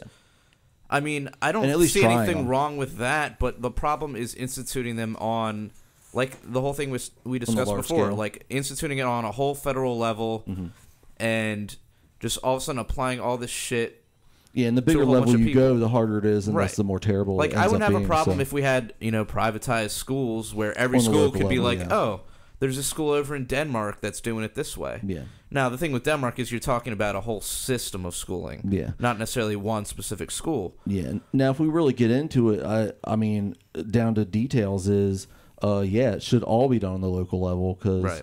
I've gone to say my county council meetings and this or that, and you know, you can go up there and you can basically go up there and say what you have to say within reason, I guess, for however many minutes they give you, but Yeah. you have more control at the local level, and that's something that I remember. Um, Ron Paul said a lot was that you have more control at the local level, and thus, in a way, everything being done on the local level is great, and it's preferable for sure. The thing that keeps me from saying that in an all-encompassing manner or whatever is that it's easy for me to just bring up South Carolina because it's the obvious one, but the way say their education is there, um, it's just they just. Ugh. I definitely should have read some stuff before I came over to f- Yeah, refresh no, myself, but I there's just some you, stuff they do there. It's just like, what are you doing? Like, there's various, you know, a few states where they can just, you know, get they get to do whatever they want because there's nothing stopping them, Yeah. and they do, and they create another generation of ignorance Yeah. and you know and like um matt was saying um basically followers or whatever they just make them into people who will just believe what they're told Right. and yes sir yes ma'am and all that and while yeah part of my life is yes sir yes ma'am all day um still it's just you gotta you gotta create people who will question everything even if they do it, don't do it out loud in a disrespectful way you know i'd like i'd like to be able to say my daughter and actually i can probably go ahead and say she she does question everything and she she does it out loud, but in a very very polite way. But Yeah. people can't handle it. And I had to teach her recently. I was like, what you don't understand is that your question is beyond legit and beyond acceptable to ask. But people, usually those in power, for example, your teachers or this or that person, they can't handle being asked that. People Yeah. just people have this thing called an ego, and you have to cater to it. And Wow. unfortunately, that's a part of life when, especially when you're younger, until you become in charge of this or that, is that you have to cater to these people's ego, and you can't even ask like, "Huh, I'm curious. Uh, why is it that we do it that way?" I'd be like, "Because that's the way it's always done." Next, it's like, dude, seriously, But uh, you can never try to improve anything from inside the system either, because I try to do it at work. with with with Bernie Sanders, though, in a lot of ways, the thing that that I find perplexing, you know, I, I kind of understand it because he is more genuine than your average Democrat, you know, to say the least. Yeah, and that could be the appeal, the genuine part. Yeah, and and, and that for a lot of people, I think that was the probably uh, for myself, for yourself, uh, for Jared, it was probably the uh, a lot of the appeal with Ron Paul. He was more genuine than uh, the average politician. Period. Uh, Or just yeah. really like old white guys, something like that. I mean, it, well, that was the funniest thing is that, that he he was an old white guy who was that genuine, who was uh, you know that like liberty minded, and he wasn't like you damn kids, you know, Yeah, yeah. So, like the you know the kids so were the like kids identified with him the more. He had such a following of young people, exactly. you know, us included. You know, Yeah, and and uh, you know, same goes for Bernie in that way. But uh, in so many ways, Bernie is the antithesis of Ron Paul. Yeah, While at yeah, the same absolutely. time, they could both work together on uh, like social social issues and civil liberties while they were in Congress. Yeah. They're, um, you know, what, you know, with, with the audit the Fed bill in uh, 2010. Um, you know, Bernie actually helped Ron uh, get it passed, but then Bernie actually I also changed it at the last minute Mm. to not be nearly as effective. So I and guess then- that was his way of, you know, he's like, okay, well, I'll I'll help you do this, but we have to water it down, which No, which is well, what what I hate after- about the left and right after it system, was the passed, two parties. After it was passed, then he changed it. You know, See, so how is that even Wait, he okay? passed it after they changed it. Yeah. I'm like, how is that even okay? What, how does that work? well, well, see the, the I thought it was right before they passed it. He changed it. See, you can actually you can actually look up. Um, I posted on Punk Rock Libertarians a, a video of, Ran, of Ron, sorry, Ron Paul speaking in, in 2010, right after it happened, and you know this is way before the presidency. You yeah, know, but he's saying that he, They- they watered it down right before it passed. Like once was it, it before? passes, was, it's was it before or was it after? Um, I believe it was after. Okay. How do you change it after it passes? They I- find a dude, way to- I don't know. it, it would not shock Alright, well, just whatever. like just like they get stuff thrown in at the last minute for any big But- bill that's well, going yeah, through. but that's like, what I'm. like You- when you they know- passed like Affordable Care Act and all like that. like you know All Ron's kinds of whole stuff is in thing there. Ron's whole thing was he was he was perplexed by it because you know Bernie worked with him to get it passed and Bernie seemed genuinely uh, concerned like he was behind the bill Yeah. and then then Bernie changed his, his uh, you know changed his tune so it, it kind of leads me to think you know he's still so- under someone's control, or Eh, well yeah so, so or he just has beliefs that aren't like consistent. so, somebody one of the money powers got to him you know yeah. so I mean that that's what that leads me to think. You know, if Mm-hmm. he's one of the guys who uh, railroad who uh, you know spearheaded this bill and uh, and then waters it down at the last minute. Mm-hmm. Yeah. You know, And I think a lot of people, a lot of. Sanders like fans, like I don't necessarily say I'm a Sanders fan, but a lot of stuff he says, I'm like, oh yeah, totally. But um, they would say like, oh yeah, he doesn't have a super PAC. He's like the only one without a super PAC. Uh, it's like, not uh, now he does, doesn't he? it's like that's. I mean, he said it. it I think that like made the, an article the other last day. the last debate. I think he said it, or maybe it was the first debate. I, I But think he I did think say it on I one of heard. the debates. I'm the only think one on the stage without a super PAC. I think recently he's he's changed his tune on that because I I, I, See, I I'm believe I read surprised that he would, he considering one. he said that on national television. Like that's a terrible. no, I actually did see that too. Yeah, I did see that. Oh, I believe you.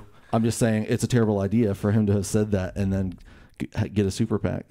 yeah, yeah. So- I mean, Well, yeah, he that would be a realizes he needs terrible money idea. to I win an mean, election. yeah, it is the unfortunate truth, but Yeah, and, and at the same time, it, uh, uh, another thing I'll give him is it's impressive that he's collected so much money, you know, in smaller checks from uh, donors that aren't gazillionaires, you know.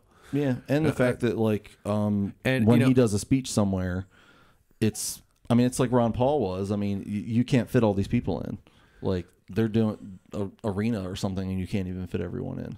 Yeah, I mean, Like he gets a lot of people to come out, and yeah, sure, no, nothing know- nothing is ever great just because it's popular. I mean, yeah. Well, we've all Hit- I listened mean, to like Hitler got a Katy lot of Perry people. or something. He got a lot of people to come out, dude. See, I was go- I was going to And go the pop he music six route. million Jews. I was going to go the pop music route, but we're going to go with uh, killing Jews Yeah. instead. I'm usually the one that goes the Holocaust route, but um, Same here, dude. yeah, I mean, just did he say you were Jewish? Yeah.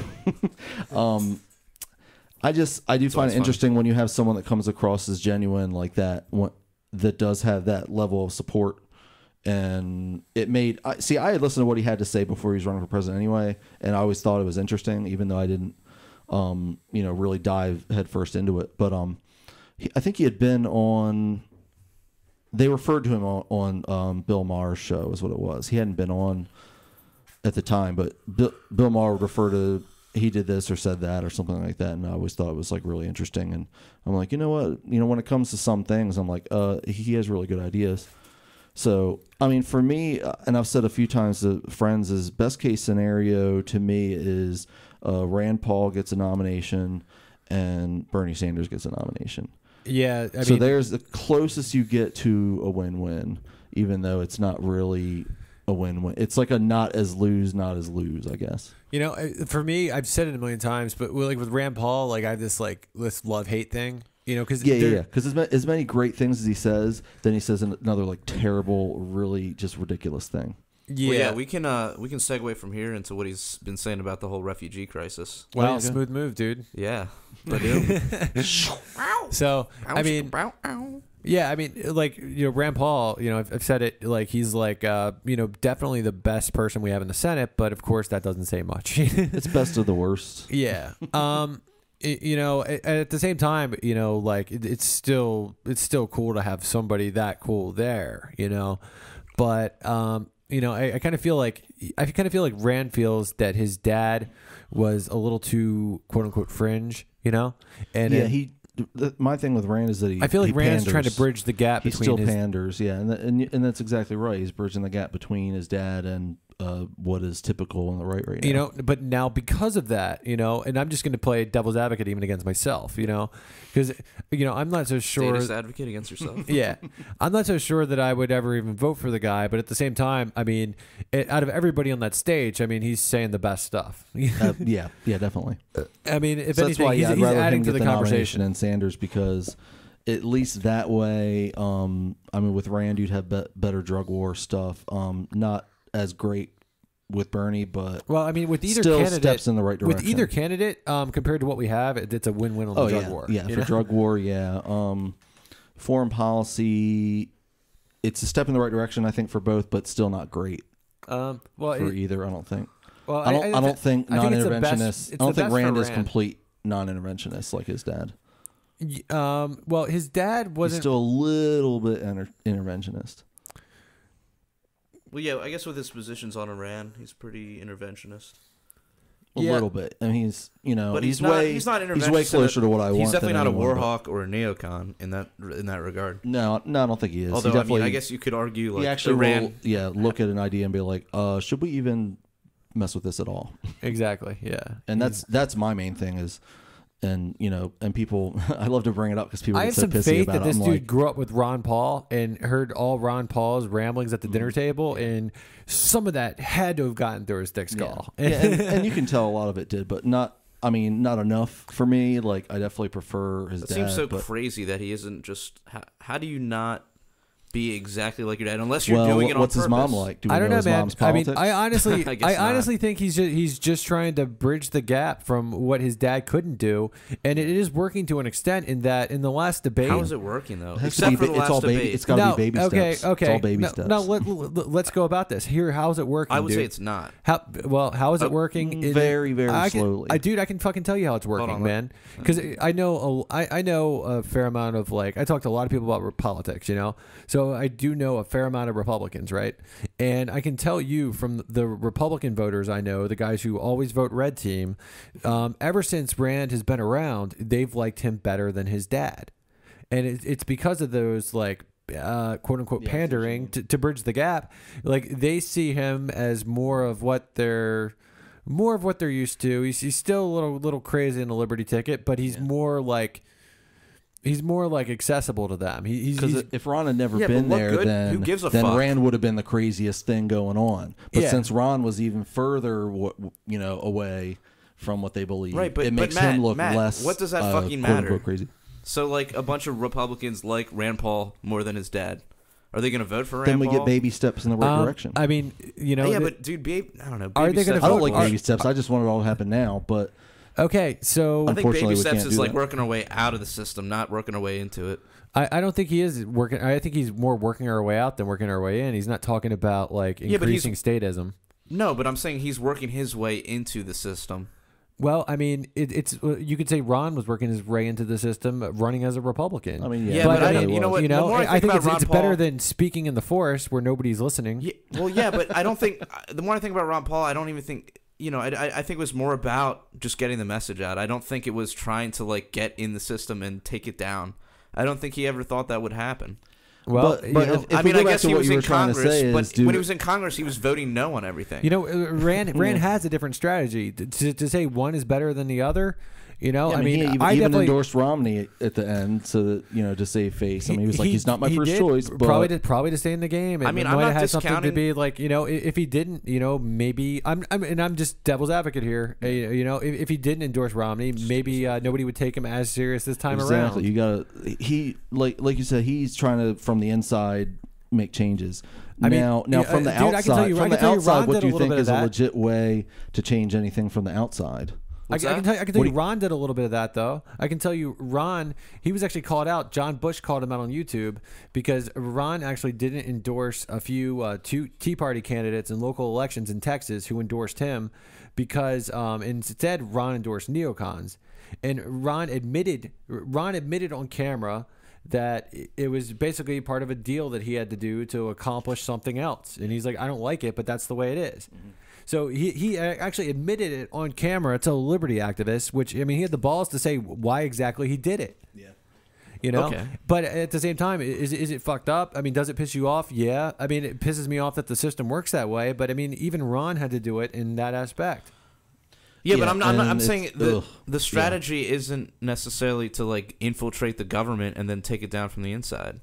I don't think that's really what Ron Paul's trying to do, and maybe it is what Rand Paul's trying to do.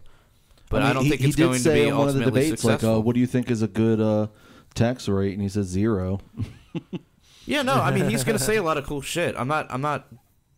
I'm not discounting See, I that. just wonder, like, if we're not gonna um say get you know these ideas and these folks into the government and go from there, what is the way to do it from the outside other than like violent overthrow?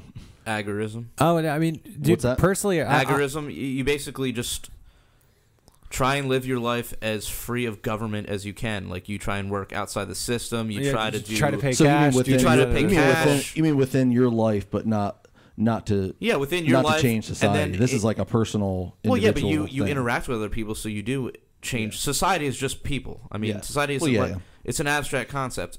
So like the, on the a more large you scale for encourage, you is to get more people to do that. right? Exactly.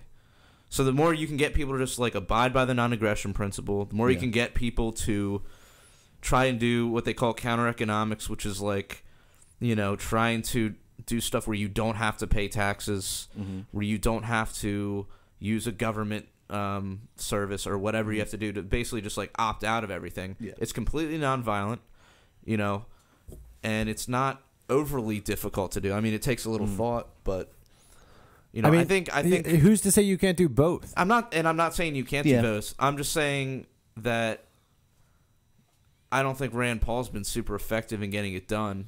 Well, I mean, uh, well, I think I he's think been super Ron- effective. okay, as But I'm just wondering how, yeah, how so you would let do me it. let me finish what I was saying, dude. Okay. Okay, so here's how he has been effective. You know, it, it's he hasn't had people like just totally fucking blow him off like like like his dad.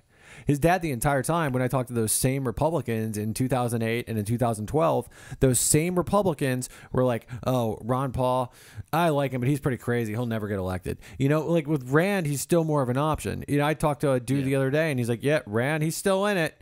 You know, he's like, it makes uh, me wonder if he talked with his son. Was he- like, hey, could you know be a what? You know what we could do? We could set this up long game. Um, I could go out there with you know guns blazing, uh, libertarian this and that, and then later on, you can swoop in and be like, BB guns blazing, libertarian this and that, and and basically get something done maybe down the road. Well, let me raise. I, I mean, let I, raise I, I doubt that happened, but I mean, it's like, I mean, You never know. it- Let me You throw I mean, that know. would be a me throw this genius out I mean, there. the way plan. the way I mean- backroom deals happen in government, I'm surprised that you know I wouldn't be surprised if they were able to do a backroom idea between father and son. Oh, I Oh, mean, yeah, I'm yeah, sure I'm, not, not saying it's, it it's, it's, it's impossible. No, what No, I'm- they're- don't even like live in the Let same me just state. throw this out yeah. there though. The last debate, he was like basically looked like his dad out there, and that is the bit the debate where pretty much everyone said he did his best. Yes, it was. And So why here- not here- just do that the entire time? And I mean, dude, what you're Maybe- talking about, what you're talking about now is is debate performance. I, I mean, he was just wasn't as he just didn't get uh, the first couple debates. He was just like didn't look like he wanted to be there. He was performing so you- badly. so you don't think it was what he was saying? You think it was just how he was saying? yeah, it? I think he was performing badly. you really need to you know? have both. Yeah, but I, mean, think he was saying a lot of cool shit at the same time. yeah, but yeah, I mean, you got to be you got to be good with that argument, and he wasn't on fire. And uh, you know, in the last debate, like I'm saying, he had a good performance, and th- that's that's the difference right there. Hmm. And so, if, if he has a good performance, you know, I think he has uh, potential to go further than his dad. Right, but uh, my my thing is like if he if he's okay if he's gonna do the good performance, but then also say the same shit that he said at the last debate, which is the same shit that his dad was saying. Why not do that the whole time? Is he gonna start alienating people? Yeah, see, that's Or maybe- the, that's maybe the, people are that's actually the ready game for that that you kinda gotta play shit. that really ruins the whole thing. Is that, like I said, Rand um, Rand panders a little more than his dad was. Dad didn't really seem to pander all that much at all, and he, he definitely does. So that's where we get back to baby steps. Well, I mean, I mean, dude, I, knowing Ron Paul and knowing that like his, uh, you know, he's got buddies who are like openly anarchist. You know, you know, th- these are his best friends. You know, you got to think Ron Paul just being at a at, uh, any Republican debate is pandering. You know, Well, I had talked to someone, it might have been you, God knows, a few years ago, saying that they don't think that Ron Paul is even necessarily a libertarian. He's actually an anarchist.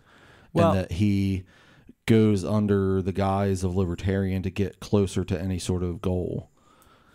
And I thought Um, that was kind of interesting. And, you know, He's know, I, pretty obviously- much admitted that he's an anarchist. yeah, because he said things that made people think, like, oh, well, shoot, that's well, he not. said the ultimate not, goal is self governance. yeah. Right. I mean, that was the And- most anarchist thing I've heard him say on Um, video. Well, Yeah. I- like I, I think Makes a lot of basically, basically, like he's. I, I think Ron knows he wants to go in, in that direction of, of less government. And if Ron if Ron isn't an anarchist, I don't necessarily believe that he is. But um, you don't? it- I think I he think is. I think dude. he I mean, might. No, I don't no, hang no, out no. with Rothbard No, I think he said not. that we need I mean, we need to dude, I have a think strong he's, I think he's defense. He closer said to we need to have a strong defense. I mean, he's definitely closer National to anarchy than uh, we than he is closer to the way government's performing right now. Oh, totally, okay. you know, he's definitely closer to that. You know? I think the one thing that he said that he thinks the government should exist for, a federal government at least, is for national defense. Now, of course, you know he'll talk about how we don't really do that at all yeah. Right. and all that, which is a whole But that's also like point. a but- pragmatic viewpoint, considering that there's nations. Dude, I mean, uh, like, So- like so, as, yeah, as so- so romantically don't- so anarchist think, that I am, he's an anarchist within this country. You think you, you know obviously er- everyone that's anarchist would think it needs to be anarchist everywhere, and thus no countries exist. Right. Is what you're saying? Okay. yeah. like like as, as romantically anarchist as I am, you know, um, I, I even I identify as that, um, you know, but I- I'd say I'm more romantically anarchist because I don't Mm-hmm. see it happening tomorrow. I wouldn't flip the switch tomorrow. I don't think everybody's ready for it tomorrow. No. You know, but um, like I gotta say, you know, the the the way that America has handled our foreign policy for you know for a really long time is, I mean, it's basically like wow it's like you know how would we survive without a uh, a state military you know? Like like, like tomorrow you know because you've got all these countries around the world hating us because we've been butting into their business for so long you know? I feel like you know you, you, you couldn't how would you do it without without a, a government run military you know how would you last right. you know i mean Yeah, I mean, it has to be like a slow, Yeah, I mean, I mean, process. exactly yeah, you dude wind so it down. You i mean because yeah, if you pull out like I mean, uh, I guess Iraq is the obvious thing where you say you pull out and like the power vacuum creates ISIS or this or that, but I mean. I guess I don't really think that's going to happen if we leave Germany or Japan or something. oh yeah But but at the same time, that'll be the slow wind down part. Is go to the place the places that we you know well, as far as like have military military overreach, bases in all these countries that it's not necessary. Yeah. is you know you got to look at okay which one will have the least impact at, when we leave. Okay, let's do those first. Yeah, you and know, then, and then we can learn about some unintended consequences of that and learn from it as we go to the bigger. You the know, I, I also feel like if, we played like Switzerland for like ten years and we and we just stopped uh, getting involved with people, you know, then we could maybe get to a place like that where we could manage without. I mean know- that'd be that'd be cool, for sure. Like, hmm, I It- can't it even might need off to the top of my head think, oh, that's it a might need terrible to be twenty or reason. thirty years, you know, because we're we're probably gonna have enemies that are gonna hate us for a long time for the yeah, we gotta wait done. basically until those people's like you know have grandkids Yeah. or great grandkids, so that you know that they haven't told the stories to. Yeah, maybe yes. I we mean, we want to maybe. wait until it's an urban legend about drones, It's- basically. but yeah, I mean, Because a lot, you know, a lot of the places say it's just because it's drones. Like, I mean, how many hundreds of drone strikes we do in some days? Like, and they literally, you know, if it's cloudy, they're scared to death because you can't even tell if it's coming. You know, yeah. and ugh, don't get me started on drone strikes. So you know, like, but another thing about like uh, Sanders, you know, he's like he voted against going into the Iraq War, but uh, you know, a- any other war spending since then, he's voted for. Yeah, yeah. I was. I heard you talk about that the other, uh, the other week on on here, and you know, it, it's another thing where it comes down to there's never going to be a politician that I'm, you know, balls deep in. Yeah, totally. For lack of a better Totally. phrase, like yeah, even even Ron Paul, I wasn't completely in on because So- there were things where I was like, you know, um, so then I mean, what a, else? What a else free could market you? solution in in this space, like like I already brought up for the prison system, isn't always a good idea, or that space that I can't think of off the top of my head, I wasn't necessarily behind. Well, I mean, I I think maybe it is a good idea, just because, like, okay, so say say say one space, uh, just like a free market in education. You know, some places are going to do better than others. The places that that do uh, bad are going to learn from the places that do better. You know, so I yeah, mean, but we don't learn from anything. This is America. well, I mean, no, I mean, look at our I- I- foreign I- policies. dude, we we, dude, I- I create, we it- created um, Al Al Qaeda before, and then we created ISIS, and I mean, we we gave all the weapons they use. We gave we gave them. I, I mean, you know, and this has Well, happened them and- repeatedly. oh, well, and Russia. We've we've ar- anytime we've armed um you know this group of people or that group of people in the history of us ever doing that, every single time those weapons were used against us. Yeah, and, and what you're, So we don't you're- learn and from what our you're citing isn't isn't the free market. What you're citing is a, a government monopoly on violence. You know, Yeah. So, and what I'm talking about are just like free market solutions, whereas one place does it better than the other. You know, I mean, it- people will be able to learn from one another. Whereas, like to me, it's like nothing is more retarded, pardon my French, than j- just having having uh, one small entity in control of everything. You know Yeah. what I mean? Who are they going to learn from? Where's Yeah. Mm-hmm. their competition? You know, they're a monopoly on violence. Yeah. Yeah. But and then, then at the same time, um, if you take it down to uh, a narrower place, you still have the ego, and you still have those people who can't handle something brought up, even a question about something. So, say for example, um, even look at uh, where we went to school or something. You know, it was in general kind of a small, you know, situation. You know, it was a private school. Uh, I guess they were a member of the Baptist whatever big community or something. But if the you know you go in there and you were to go to the principal at the time and be like, "Hey, I have this idea that will solve so and so problem," um, even on that small of a level, it usually won't happen. Like, and and I've and I've worked in very small places and very big places and even even at the small level, if you have a school with a couple hundred kids, you still have the people who are in charge of it, and they're not always going to embrace the good idea from the school next door or the school in another state. Yeah, I mean, not always. No, and, and I would like to give them the chance to. Obviously, that'd be great. But not always. but I mean, you're have- gonna. from from every time I've tried to improve this or that, even from where I worked for five years and there was only six total employees, like you can't even get some stuff to change. But I mean, from like the federal level, I mean, would you want the government to just like take Uh, over? I'm not. I'm not saying let's do it with the federal government. well, at all. I'm just saying you still have a lot of the same problems. Which, yeah, when it when it's controlled from a federal level, it's not necessarily someone's ego that's keeping anything from changing. It's just so big that it can't be controlled. But then when you get to the smaller level, you still you have some similar problems. So it's not like the end all be all solution to make it open market. Well, you, when you think about it, when it when it's from the federal level, it's probably so big that it, that it that it can be controlled. Because I mean, you only have to control like a, a small group of people, as, mm-hmm. as opposed to and use them to control everybody. yeah, with as the federal to- government, it's just it's a matter of what, yeah, like what that small group of bureaucrats thinks. Whereas with something in the free market, they have to respond to the market. I mean, yeah, there's some guy that's in charge, he's a CEO, but he has to answer to Yeah, the if, if you do customers. if you do a See, poor job, and free market things definitely work in a lot of situations. Like Ron Paul always brought up uh, smartphones, and it was a great example because that market really took off once there was a really big innovation in user experience, which was iPhone. It all really took off, and now they all compete with each other, and you can definitely get a kick-ass piece of supercomputer in your pocket for like ass cheap. But then you know, there's other situations that you look at, like um, say I don't know, the easiest thing to come to mind is like Walmart or whatever, and you know, they you know basically treat all their people like dirt. Um, they take out insurance policies in case one of them dies, so they can make money off of that. You know, and there's a hundred other things you could talk about Walmart, but you know, they close up all the small businesses, but they're still that's still uh, capitalism. It's still like, oh, people voted with their wallet, and that's why Walmart is great. Or oh, Walmart, Walmart creates jobs. It's like, well, it just moves jobs from a mom and pop shop. So when you know, it, it's real easy, and it was easy because I said it before to say, oh, free market, you know, just would take care of that, but it didn't necessarily.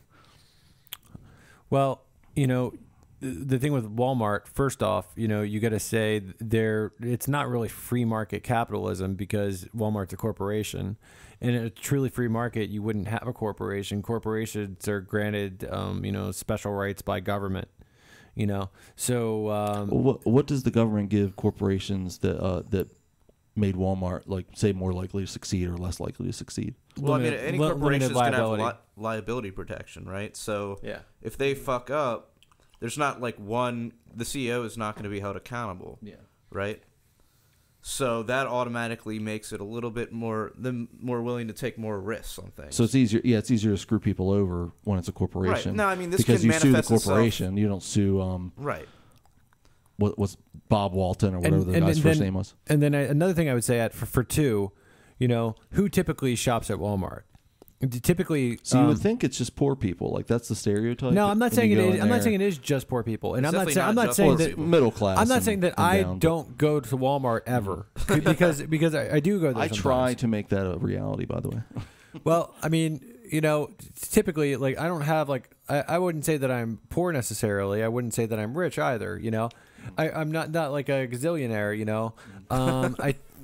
You know, like I, I, I go to Target usually, you know, um, but sometimes like if I'm searching for something, like I'll look at whose website it's on. Like if Walmart has it, you know, if it's something that I can't find at Target, I can't think of like a specific example. I know what you mean. Yeah, You know, have- I- I might there's go- I might go there I mean, and I get buy it. a ton There's of shit at. Walmart, Yeah, but what you mean. mostly like it's mostly like household products and like Yeah, it's just stuff because that you're, it's just just because you're right Jewish, now. dude.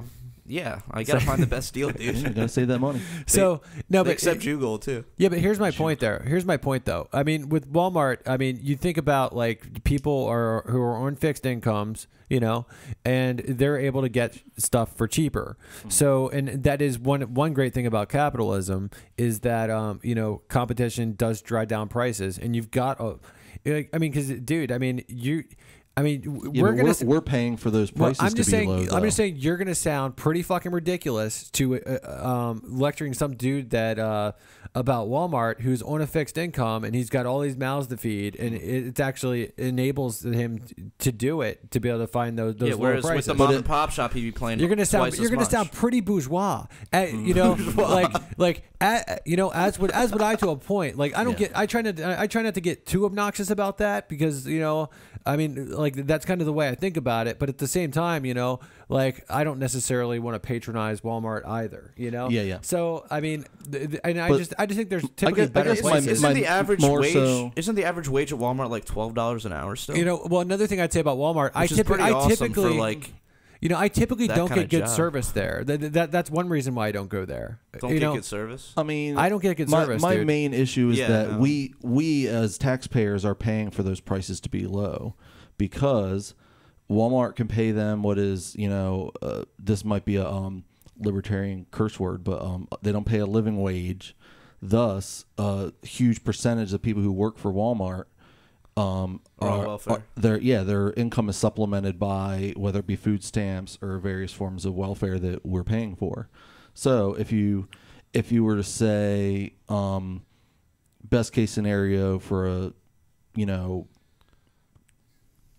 I guess income situation for them would be Walmart pays them and we don't have to. I guess is best case scenario there. Well, is I mean- Walmart pays them enough that they can afford to live and we don't have to pay for that because they because they work for Walmart. Yeah, but the Like, whole welfare situation They don't work is they much, don't work for the taxpayer. I mean, Right, it- but like you can't sounds put like the whole the whole the whole blame of the welfare on Walmart. No, I no, mean, no, You it's can't, it's you an can't ex- blame it's an all example. poverty on Walmart. no, no, you no, know? not at all. It's just an example. Like it's not Walmart's job to like guarantee these people a certain income. Like they're they're creating a voluntary contract to work there. Now, whatever put them in that See, situation, vo- voluntary is is might be a strong word there. Like because, for example, if they come in um, and they push out all the other businesses that could employ them. I mean, yeah, that's a possibility, but also, you know, you get a lot of folks that ha- say have, you know, not a great education or much education at all, which we might have put them in that situation. Right, and that's what. I'm saying. Like, But and also no other opportunities just in general, not even just because Walmart did this or that to drive away jobs, but you just have say for example, you have some folks that aren't going to get higher than a middle school or high school education or something for example and and don't have great job skills or communication skills or anything like that. well, I mean, Those people those people um, do we feel that those people deserve to be able to live independently? Or do we feel like you know what since they're so and so they should have to get a roommate? Or do we think because they're so and so they should have to live with their parents or do we believe so and so should have to live in a homeless shelter? Like it all comes back to where do you want to draw the line on what on we- who on who's well- entitled to what kind of life Well, I mean, uh, like the cost of living in itself, you know, it's really fucking high, you know, for a number of reasons. I'd Oh, say yeah. one reason is the rent is too damn high. Uh, You know, and Yeah. one reason I voted for him And and w- one reason the rent That's is too damn high is because the government taxes heavily uh, higher people who uh, rent out properties Mm-hmm. than people who are just like live in their house, right? Mm-hmm. So if the government is, is um, you know throwing more tax on these rental properties, who is paying that tax? You know, it you know of, of course the guy who owns the property is paying it, but, But no, it all gets indirectly. down. That's where your trickle down stuff actually happens. is- is Exactly. there. Yeah. It you- the shit trickles down. It's not the, the shit trickles down from government. Yeah. Yeah. I mean, and so that you know the, the guy who's renting it out is going to um pass that rental tax onto the renter. You Yeah. know, my I've got a buddy right now who's actually homeless. He's sleeping out of his fucking car. The other night he crashed here, and he was telling me about like you know he's looking at places and like n- not as good an area, and he's uh they're they're basically charging him like you know twice as much rent as the uh, mortgage would be to fucking buy the place. yeah. You know, And I've seen that before, and ugh. So And- yeah, and it's uh, fucking uh, ridiculous. Agreed. Agreed. so I yeah, I like, wouldn't even say like, oh, that's wrong, and that's not why that's the situation. So, But, it- like, uh, if you, if you when think about if, if the rent was lower, you know, and and also if you didn't have as many as many regulations and shit, I mean, I- I think you, I think you'd ha- you would have a lot more low rent, you'd have a lot more competition, you know, you'd have uh, you know it, would be a cheaper cost of living to where Mm-hmm. you know it wouldn't matter as much. Another thing I'm going to say is one, another reason why I don't like to go to Walmart is you know I'm every every time I go there I'm complaining about the service that I get. You know, for instance, the last time I But went it's to the same Wal- thing at Guitar Center. Well, I mean, yeah, I'd never go there, you know. But the, the last time I went to Walmart, right, I I had to go there on my lunch break because you know I had to find a place that I could get to and back, you know, after eating lunch within an hour, you know. And Walmart happened to be the store, and I needed to replace my cell phone. I've got like a fucking twenty dollar burner phone, uh-huh. right? And I know Walmart has it in stock, and they're the only Yeah. place that I can drive to on my lunch break to get it. so you know, I go there. It, it should be You know- quick in, you know quick, quick in, quick out, but I, I know Walmart's service usually sucks, right? Mm-hmm. So I, I go to the electronics section and you know I ask for this phone um, and I see it they're out of it on the shelf, but the guy's like, "There's like ten in the computer, so uh, so we should have it." And so, anyways, I've got to wait like a half an hour for them to find uh, like one of the managers with the key. Meanwhile, there's like fucking six or seven employees standing in front of me talking, yapping, and it's like, wow, if you could if you could just get rid of these employees who obviously um, don't have anything to do. I mean, it's just uh, fucking, and uh, you could pay two of them. You could pay a competent person what what two of them are making, Mm-hmm. you know, and you could uh, you could probably run this store a lot more efficiently, and it- to where you wouldn't have like two people with the key. Yeah. you know, um, it was just like it's just poor service. That's why I don't go to Walmart, you know. But at the same time, you know, if, I'm watching a bunch of uh, lazy employees, it's like how much do they deserve to make per hour? You got to think the people that are there, if if if they had that much more to offer, they'd probably be, be at a job that uh, pays more money. Because I mean, Walmart is pretty much the the bottom of the barrel. It's a it's a really good point. And like, do you? And a lot of those now, kids that I'm talking know- about were high school kids, or the- maybe just out. Yeah. Now the the job we talked about, I don't know, I don't know if you put that out there or not, but the job we talked about earlier, where you work, Mm-hmm. um, do you guys end up with downtime? Like, Yeah. Like, so if it's not a busy day, sometimes a couple of you guys will be standing around there, shooting, Yeah. shooting the shit. No, d- d- totally, totally. But you know, and, if, if and you, I have if that. Got, I'm not even gonna act like I don't have that. I mean, that's just facts of life. Sometimes it's just how it is. Sometimes, oh, my shift isn't over until so and so time. Um, everything's caught up. Well, it's, it's just amazing no to me reason to, that, like, that I'm, I'm waiting a half an hour and there's six people there that, that, that could be, you know, you grabbing this looking for, for that, Yeah, I mean, it's just uh, Walmart is just or like was it locked in the thing right in front of you? No, it wasn't locked in the thing right They in had front of me. like, it was it was it? apparently it was apparently in the back somewhere, but it turned out, then it ended up turning out that they didn't have it anyway because their inventory was that wrong off. Mm. You know, like my point is, it's, it's Walmart is just run like inefficiently. It's basically it, it, it's a And like, yet, the times yet, when I have to go there, ass loads of money, even Well, at that inefficiency. you know, the, because the- they have so much buying power that they yeah, can the, make the times when I have to go there, I, I, I receive like horrible service, you know, Yeah. and, I- and like I said, I, I really do try not to go there. Well, they're not really Yeah. trying to help you find anything. It, they're just Yeah, because they don't. Yeah, they don't stand. You just to, go in, They don't stand to gain or know what you lose no wanna matter what you do. They're going to make what they make either way. Right. And I mean, how often But I'm is a saying Walmart even, like, person Walmart's- fired for something? Even that- Walmart's goal isn't to like help you find like what you're looking for. It's like you go in and you just see shit and you buy it. Yeah. yeah, You know, maybe you're if- walking down the aisle, you see something catches your eye, you buy it. You- Yeah. They're not trying to like direct you. They're not trying to sell you this model of car. They're just like come into the store. It's set up. You're gonna buy shit Yeah. and then get the fuck out. Well, I think I think my point was that if Which is those, if fine. those people could have been looking for uh, the product that you wanted, and, and that's the point, then sure, yeah, they were standing around not doing anything, and that's you know not acceptable. Um, at the same time, if it's say um, there's the one stock guy in the back, and there's the one manager who has a key for so and so box, and it's really only between those two people who would be able to get to what you needed. You can't necessarily say, you know, what, what does so and so deserve to make since they weren't useful in that But see, situation. the whole idea of like deserving Well, to I make mean- it doesn't make any sense in an economic sense. Like you will make whatever the market clears you to make, whatever whatever your employer decides he wants to pay you, and that you decide you're willing to work for, Mhm. is, And is you- what you des- is what you quote yeah. unquote deserve yeah, and I, and I understand how that works for sure. Now- and now the problem- if you on, let really me- let me take that to though. its end, though, Let me finish though, because like when you start mixing in things like corporations and all the things that help to create like these giant monolithic corporations, like in addition to having that like limited liability, you also have barriers to entry that keep the little guys from catching up to Walmart. Mhm. Right? You have all sorts of regulations all the way down the line, like Yeah. it, whether it has to do with like their the the companies they're stocking or other companies similar to Walmart. Mhm. I mean, it just so happened that you know whoever was in charge at the time, whatever whoever the, Walton or whatever, I'm sure like did some deal with some bureaucrat or some company and Yeah. just like was able to kind of launch himself over that barrier. Mhm. Um, so I think that's part of the problem. Yeah, and so like when- when, when we you- talk, hold on, when let me just wrap this wrap this up real quick. wrap it up.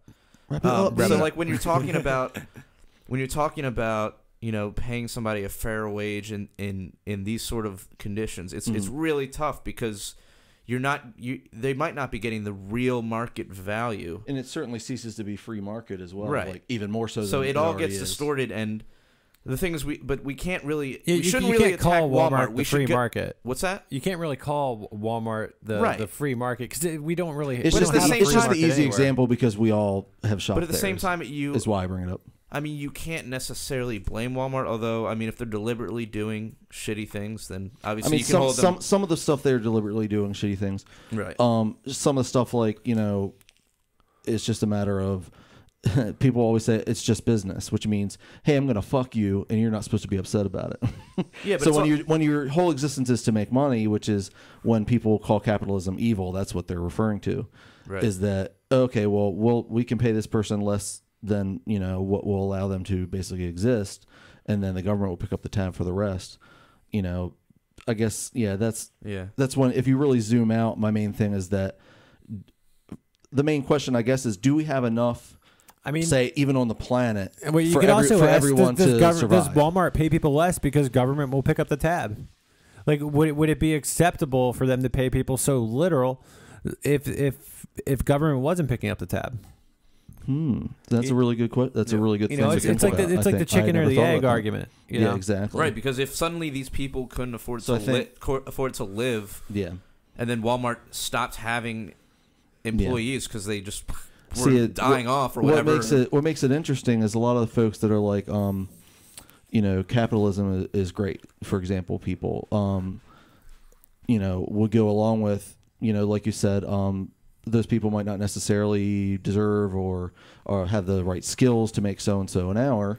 But then at the same time, they'll say, uh, "Let's get rid of the welfare state and not not give those people, say, food stamps or public housing or this or that." So, Well, when in, somebody's in a, in a way, you're able to say when you put all that together, those people are just pretty much going to say, "I don't care about those specific people. I don't care what happens to them." Basically, in a way, let them starve or let them be homeless or whichever thing happens first. Well, see, I, I, like actually, I'll say let's get rid of the welfare state. You know, but um, I'll, I'll you know what I'll say first? Let's get rid of the corporate welfare state because we have more corporate welfare Yeah, going on in this country than anything. Totally. You know, and but when I say let's get rid of the welfare state, I'm not saying don't feed poor people. Yeah. Don't donate to poor people. Don't help poor people. You Yeah. know, like you know, and like that's I- the difference between well thought out on the right and just generic I go with the flow on the right. Well, I mean, and I wouldn't even say that I'm necessarily on the right. It- like I don't think of myself as. See, I uh, thought libertarianism was considered the furthest to the right you can go. So, like, yeah, it's not stereotypical but see, right. you're stuck in the left-right paradigm. You're right. It's up or down. Are you up? Yeah. So I whatever. mean, whatever we just it believe is, in the non-aggression principle. I mean, it's really that simple. Like, That's just your main thing there. yeah, I mean, So, like, if you look at non-aggression principle, like, like I said, I, I, didn't, I didn't look it up is- into is the details, relative. but is it considered aggressive, or you know, in by way of um, there's a word for it where you just you know don't help somebody or whatever. Um, it's Like a- if you see somebody aggressive- oh, drowning- negligence is the word I was looking for. Yeah. Is it is it aggression to the point of negligence where, say, you know, those people starve or end up homeless because they don't make enough? You know, I mean, and honestly, you know, there's like libertarians like anybody else. You know, there's gonna be some cool Republicans. There's gonna be some dickheads, and same with Yeah, with everywhere Democrats. you go, dude. yeah, I mean, there's gonna be some libertarians. There, there could be some libertarians that say, you know, fuck, I'm not helping poor people. Blah blah blah. There's gonna be libertarian fucking assholes. You know, Yeah. but um, it's like. You know, that's up to them. You know, I'm not going to run after them, stick a gun to their head, and say, uh, y- "Give It's this just so much guy easier to hear it from you know, give this homeless so many dude of them, five yeah. dollars to buy a forty ounce, or or whether whether it's whether whether it's a cheeseburger, Send or- a dollar, or- bitch. or whatever. You know, Five dollars it's fucking. You know, Yeah. I'm going to let somebody sleep on my couch when they need a place to live. You and know, I really liked Ron Paul's stance on that stuff was that that should be up to the community. You have the local church, the local community center taking care of the people in the community that need taken care of. Best case scenario, uh, yeah, can we do that? Pretty please. See, I'd, I'd, I'd, I'd be all about going that. off of- going but off at the of- but at the same time, I'm like, hmm, if we you know chicken or egg the whole thing, like you were saying, and then if we just say drop the uh, quote unquote welfare state or just welfare in general and just Well, at hope the same that- time- No one's that- advocating- We hope that those Yeah. people will no go ahead and pick like it up. I don't think Yeah. anyone seriously advocates like just like we said we don't want to flip the switch for anarchy. We also don't want to flip the switch of like let's just drop out the Yeah. safety net So, yeah, all uh, at yeah, once. everything gradually. No, it's got to be a better gradual. you got to yeah. you got to peel back all the welfare stuff, Yeah. all the food stamps, all the different programs, you know, whatever it is. It's got to Yeah, be I do- gradually weaned off. Oddly enough, uh, hearing this from a guy who likes things that Sanders says, I like the idea of voluntarism at the same time. yeah. So, like, it, for me, in, It's a- it's a in- better in my, word in my than head, I always take everything to the furthest extreme. so I like things in extremes. And voluntarism, Thus, it's a better word than anarchist because anarchist it is, kind of a is. loaded term, Anarchist- and it's people hear loaded because and, the way and you know they People some think people of like violence anarcho spun it, yeah. violence and like people like Yeah. mass but men yeah, with it's, bombs. to me, it's like, how can we get to utopia? And I know that's a ridiculous thing to say, but yeah, I mean, it's like if there, you- there if is you no go- utopia, I but I mean, mean, yeah, I this think is there, just thing we're all definitely better than humans we and we have all- right now. Yeah, we're all humans and we'll screw it up somehow. But at the same time, I'll always go um, from one side to the other, and I'll say like, okay, so you, say you have a great voluntarist society where you know nothing is done against anyone's will, And Well, I mean, and things and are- and things that, are and still that gonna could be be really cool in one way. And then you have a great um, if you watch um like Next Generation Star Trek or something, like money doesn't exist within yeah, their scarcity economy. yeah, it's uh, there's no more money. Thus, it's, it's, there, everything is there's enough for everyone. Thus, everyone's just provided for. Like you don't even have to like ask. Like uh, you hit a certain age, you're going to school. Uh, this is where people that go to that school live. Uh, this is where people that uh, go into this field or that field, or that field live, and this or that, and it's all just figured out. And yeah, it's, we'll find a way to screw that up because we're not Star Trek. But at the same time, if I was to like snap my fingers and and be able to just go to one and scope it out, I mean, I would obviously try them both out. But I I like Star Trek a lot, so that would be really cool. So Yeah, but the whole thing is like you're you got to look at it from a, like a morality standpoint, Mm-hmm. right? Because see, what you're you're kind of looking at it from, I guess It is what you would literally it's like literally a fictional standpoint, well a fictional standpoint, but that's also why like I can sit there like and say, yeah, I don't have the answers. yeah, but also you're also looking at it from like a consequentialist standpoint, where it's like whatever society produces this end goal of mine is the one I want to live in. Mm-hmm. But see, the whole thing about like the libertarian ideal is that everything is built on um, what is What's- the word the for it? Like a ethical deon- way? what they call like a deontological, I believe is the appropriate term for it. Like it's a more ethical way of dealing with things. like yeah, but you have like a framework, like an underlying moral foundation yeah, that like as long as you abide by the, th- this foundation, yeah, then you're living mor- then you're living morally. Whereas like the consequentialist, you know, it could be like because like many consequentialists, like a guy like I talk about occasionally on here, his name's Sam Harris. mm-hmm. Um, he's a consequentialist, and his goal is to like maximize well. His moral framework is built on like maximizing well being for everybody. yeah. But the problem with that So I ends see up being is like super socialist, right? Right. Well, no, he's not super socialist because I think he values freedom. but uh, anyways, like basically, We have a new guest. basically, as long as you can maximize the amount of well-being, but you can also do it at the it, what it leads to is like you could do it at the expense of a few people. Mhm. So like you know the whole like trolley thing where like if you push one guy in front of the trolley to save six people, then you should do that. Like you ever heard Mhm. that like uh, philosophical I mean, it, I haven't heard it, but it makes sense. I can understand like Right. What it so you get into all those sorts of things, and then you sort of extrapolate them out. Shit. Hmm. you extrapolate them out to everything else, and it's like so. Essentially, let in my mind that leads to like something like tyranny of the majority, where you have like yeah, like eighty percent of people Yeah. are really happy, but then they're like preying on this other Or twenty it percent. could, it could even be 51 and 49. right. Or if Yeah. you look at voting, you know, if, if you've got Let's like say- if you've got like a little bit more than half the people voting, and then you've got like a little more than like half the pe- half the people of them, you could really have like, you know, like 26 or 27 percent of the people Actually, telling Let me everybody else how clarify. to I think I was, what I was referring to was actually called utilitarianism, There you go. Yeah. I've heard that term, but but it's, a- it's another consequentialism one when I is like see it, I have to Google it. based on the consequences, as it sounds. So. Okay, so Yeah. um, just so um, uh, I can understand what, what the terms and everything are, um, is it util?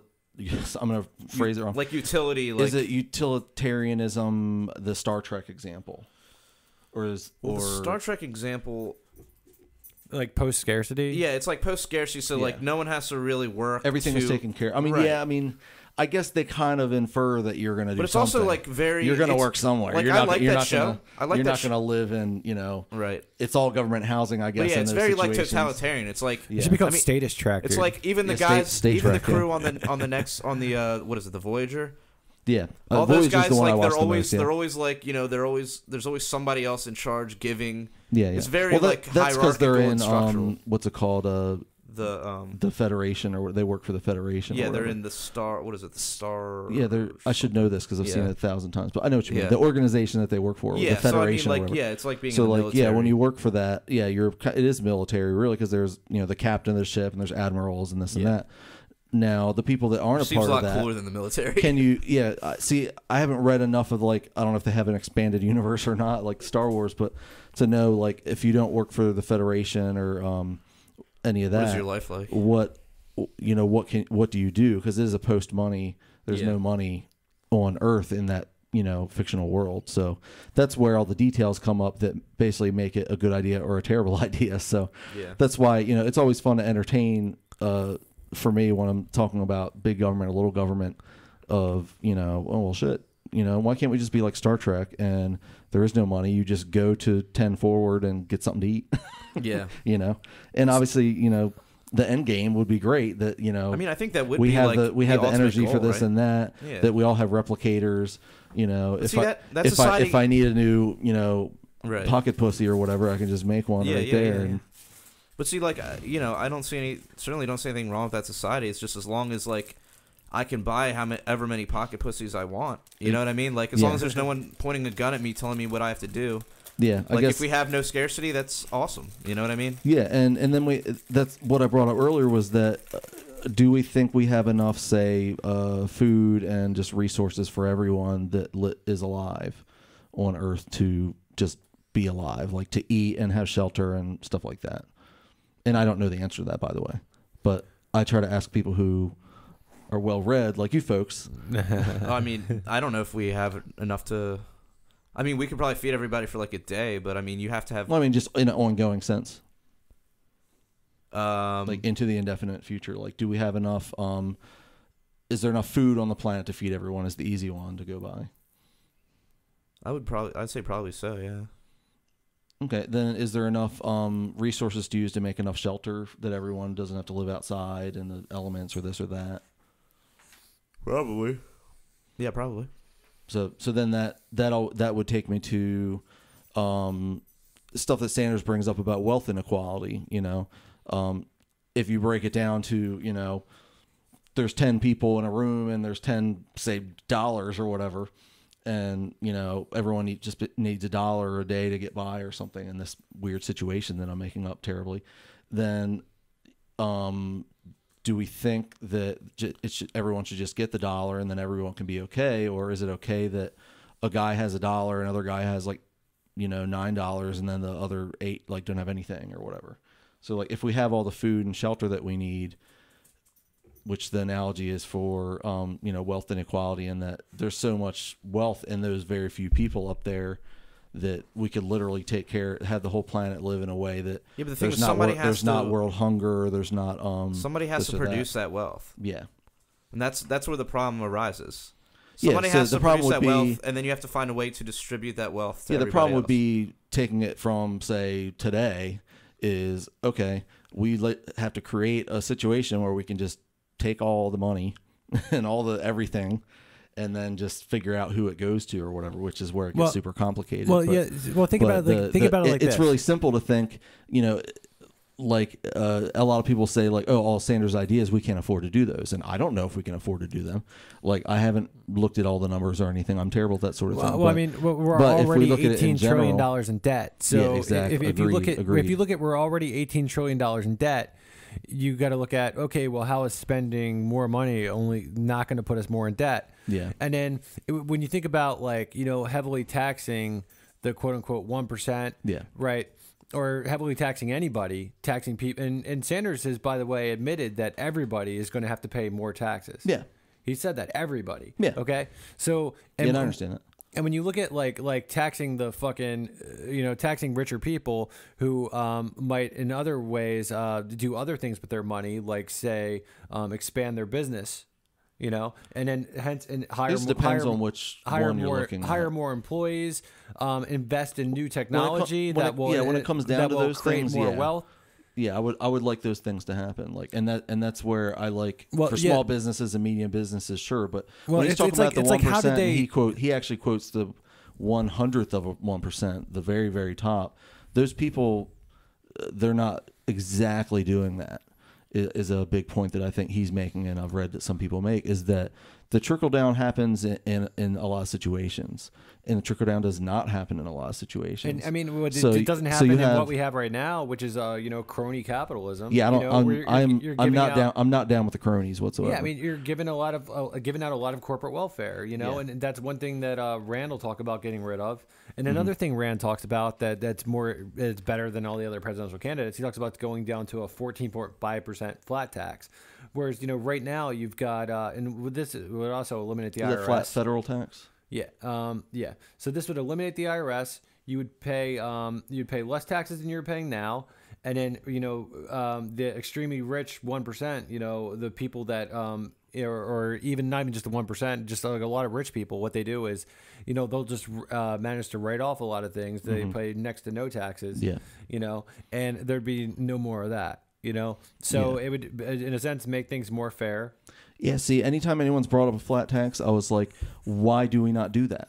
You know, I mean, 'cause and, when and you think people about are like, oh, because then we can't, we won't be able to do these things and that things. I'm like, then you make the flat tax higher until you're able Or to you just stop doing have those it. things. I mean, Well, when yeah, you sure, think that too. If it's something stupid, obviously get rid of it. But When you think about like asking for something from government, it's basically like th- it's you really like shouldn't give it's, it back. you're asking for crumbs of what they've already stolen from you. Yeah, exactly. Yeah, and that, and you know, I was definitely all in on that. You know, for a while, and now I won't necessarily use that analogy to make any point of mine necessarily anymore because I won't be as good at explaining it.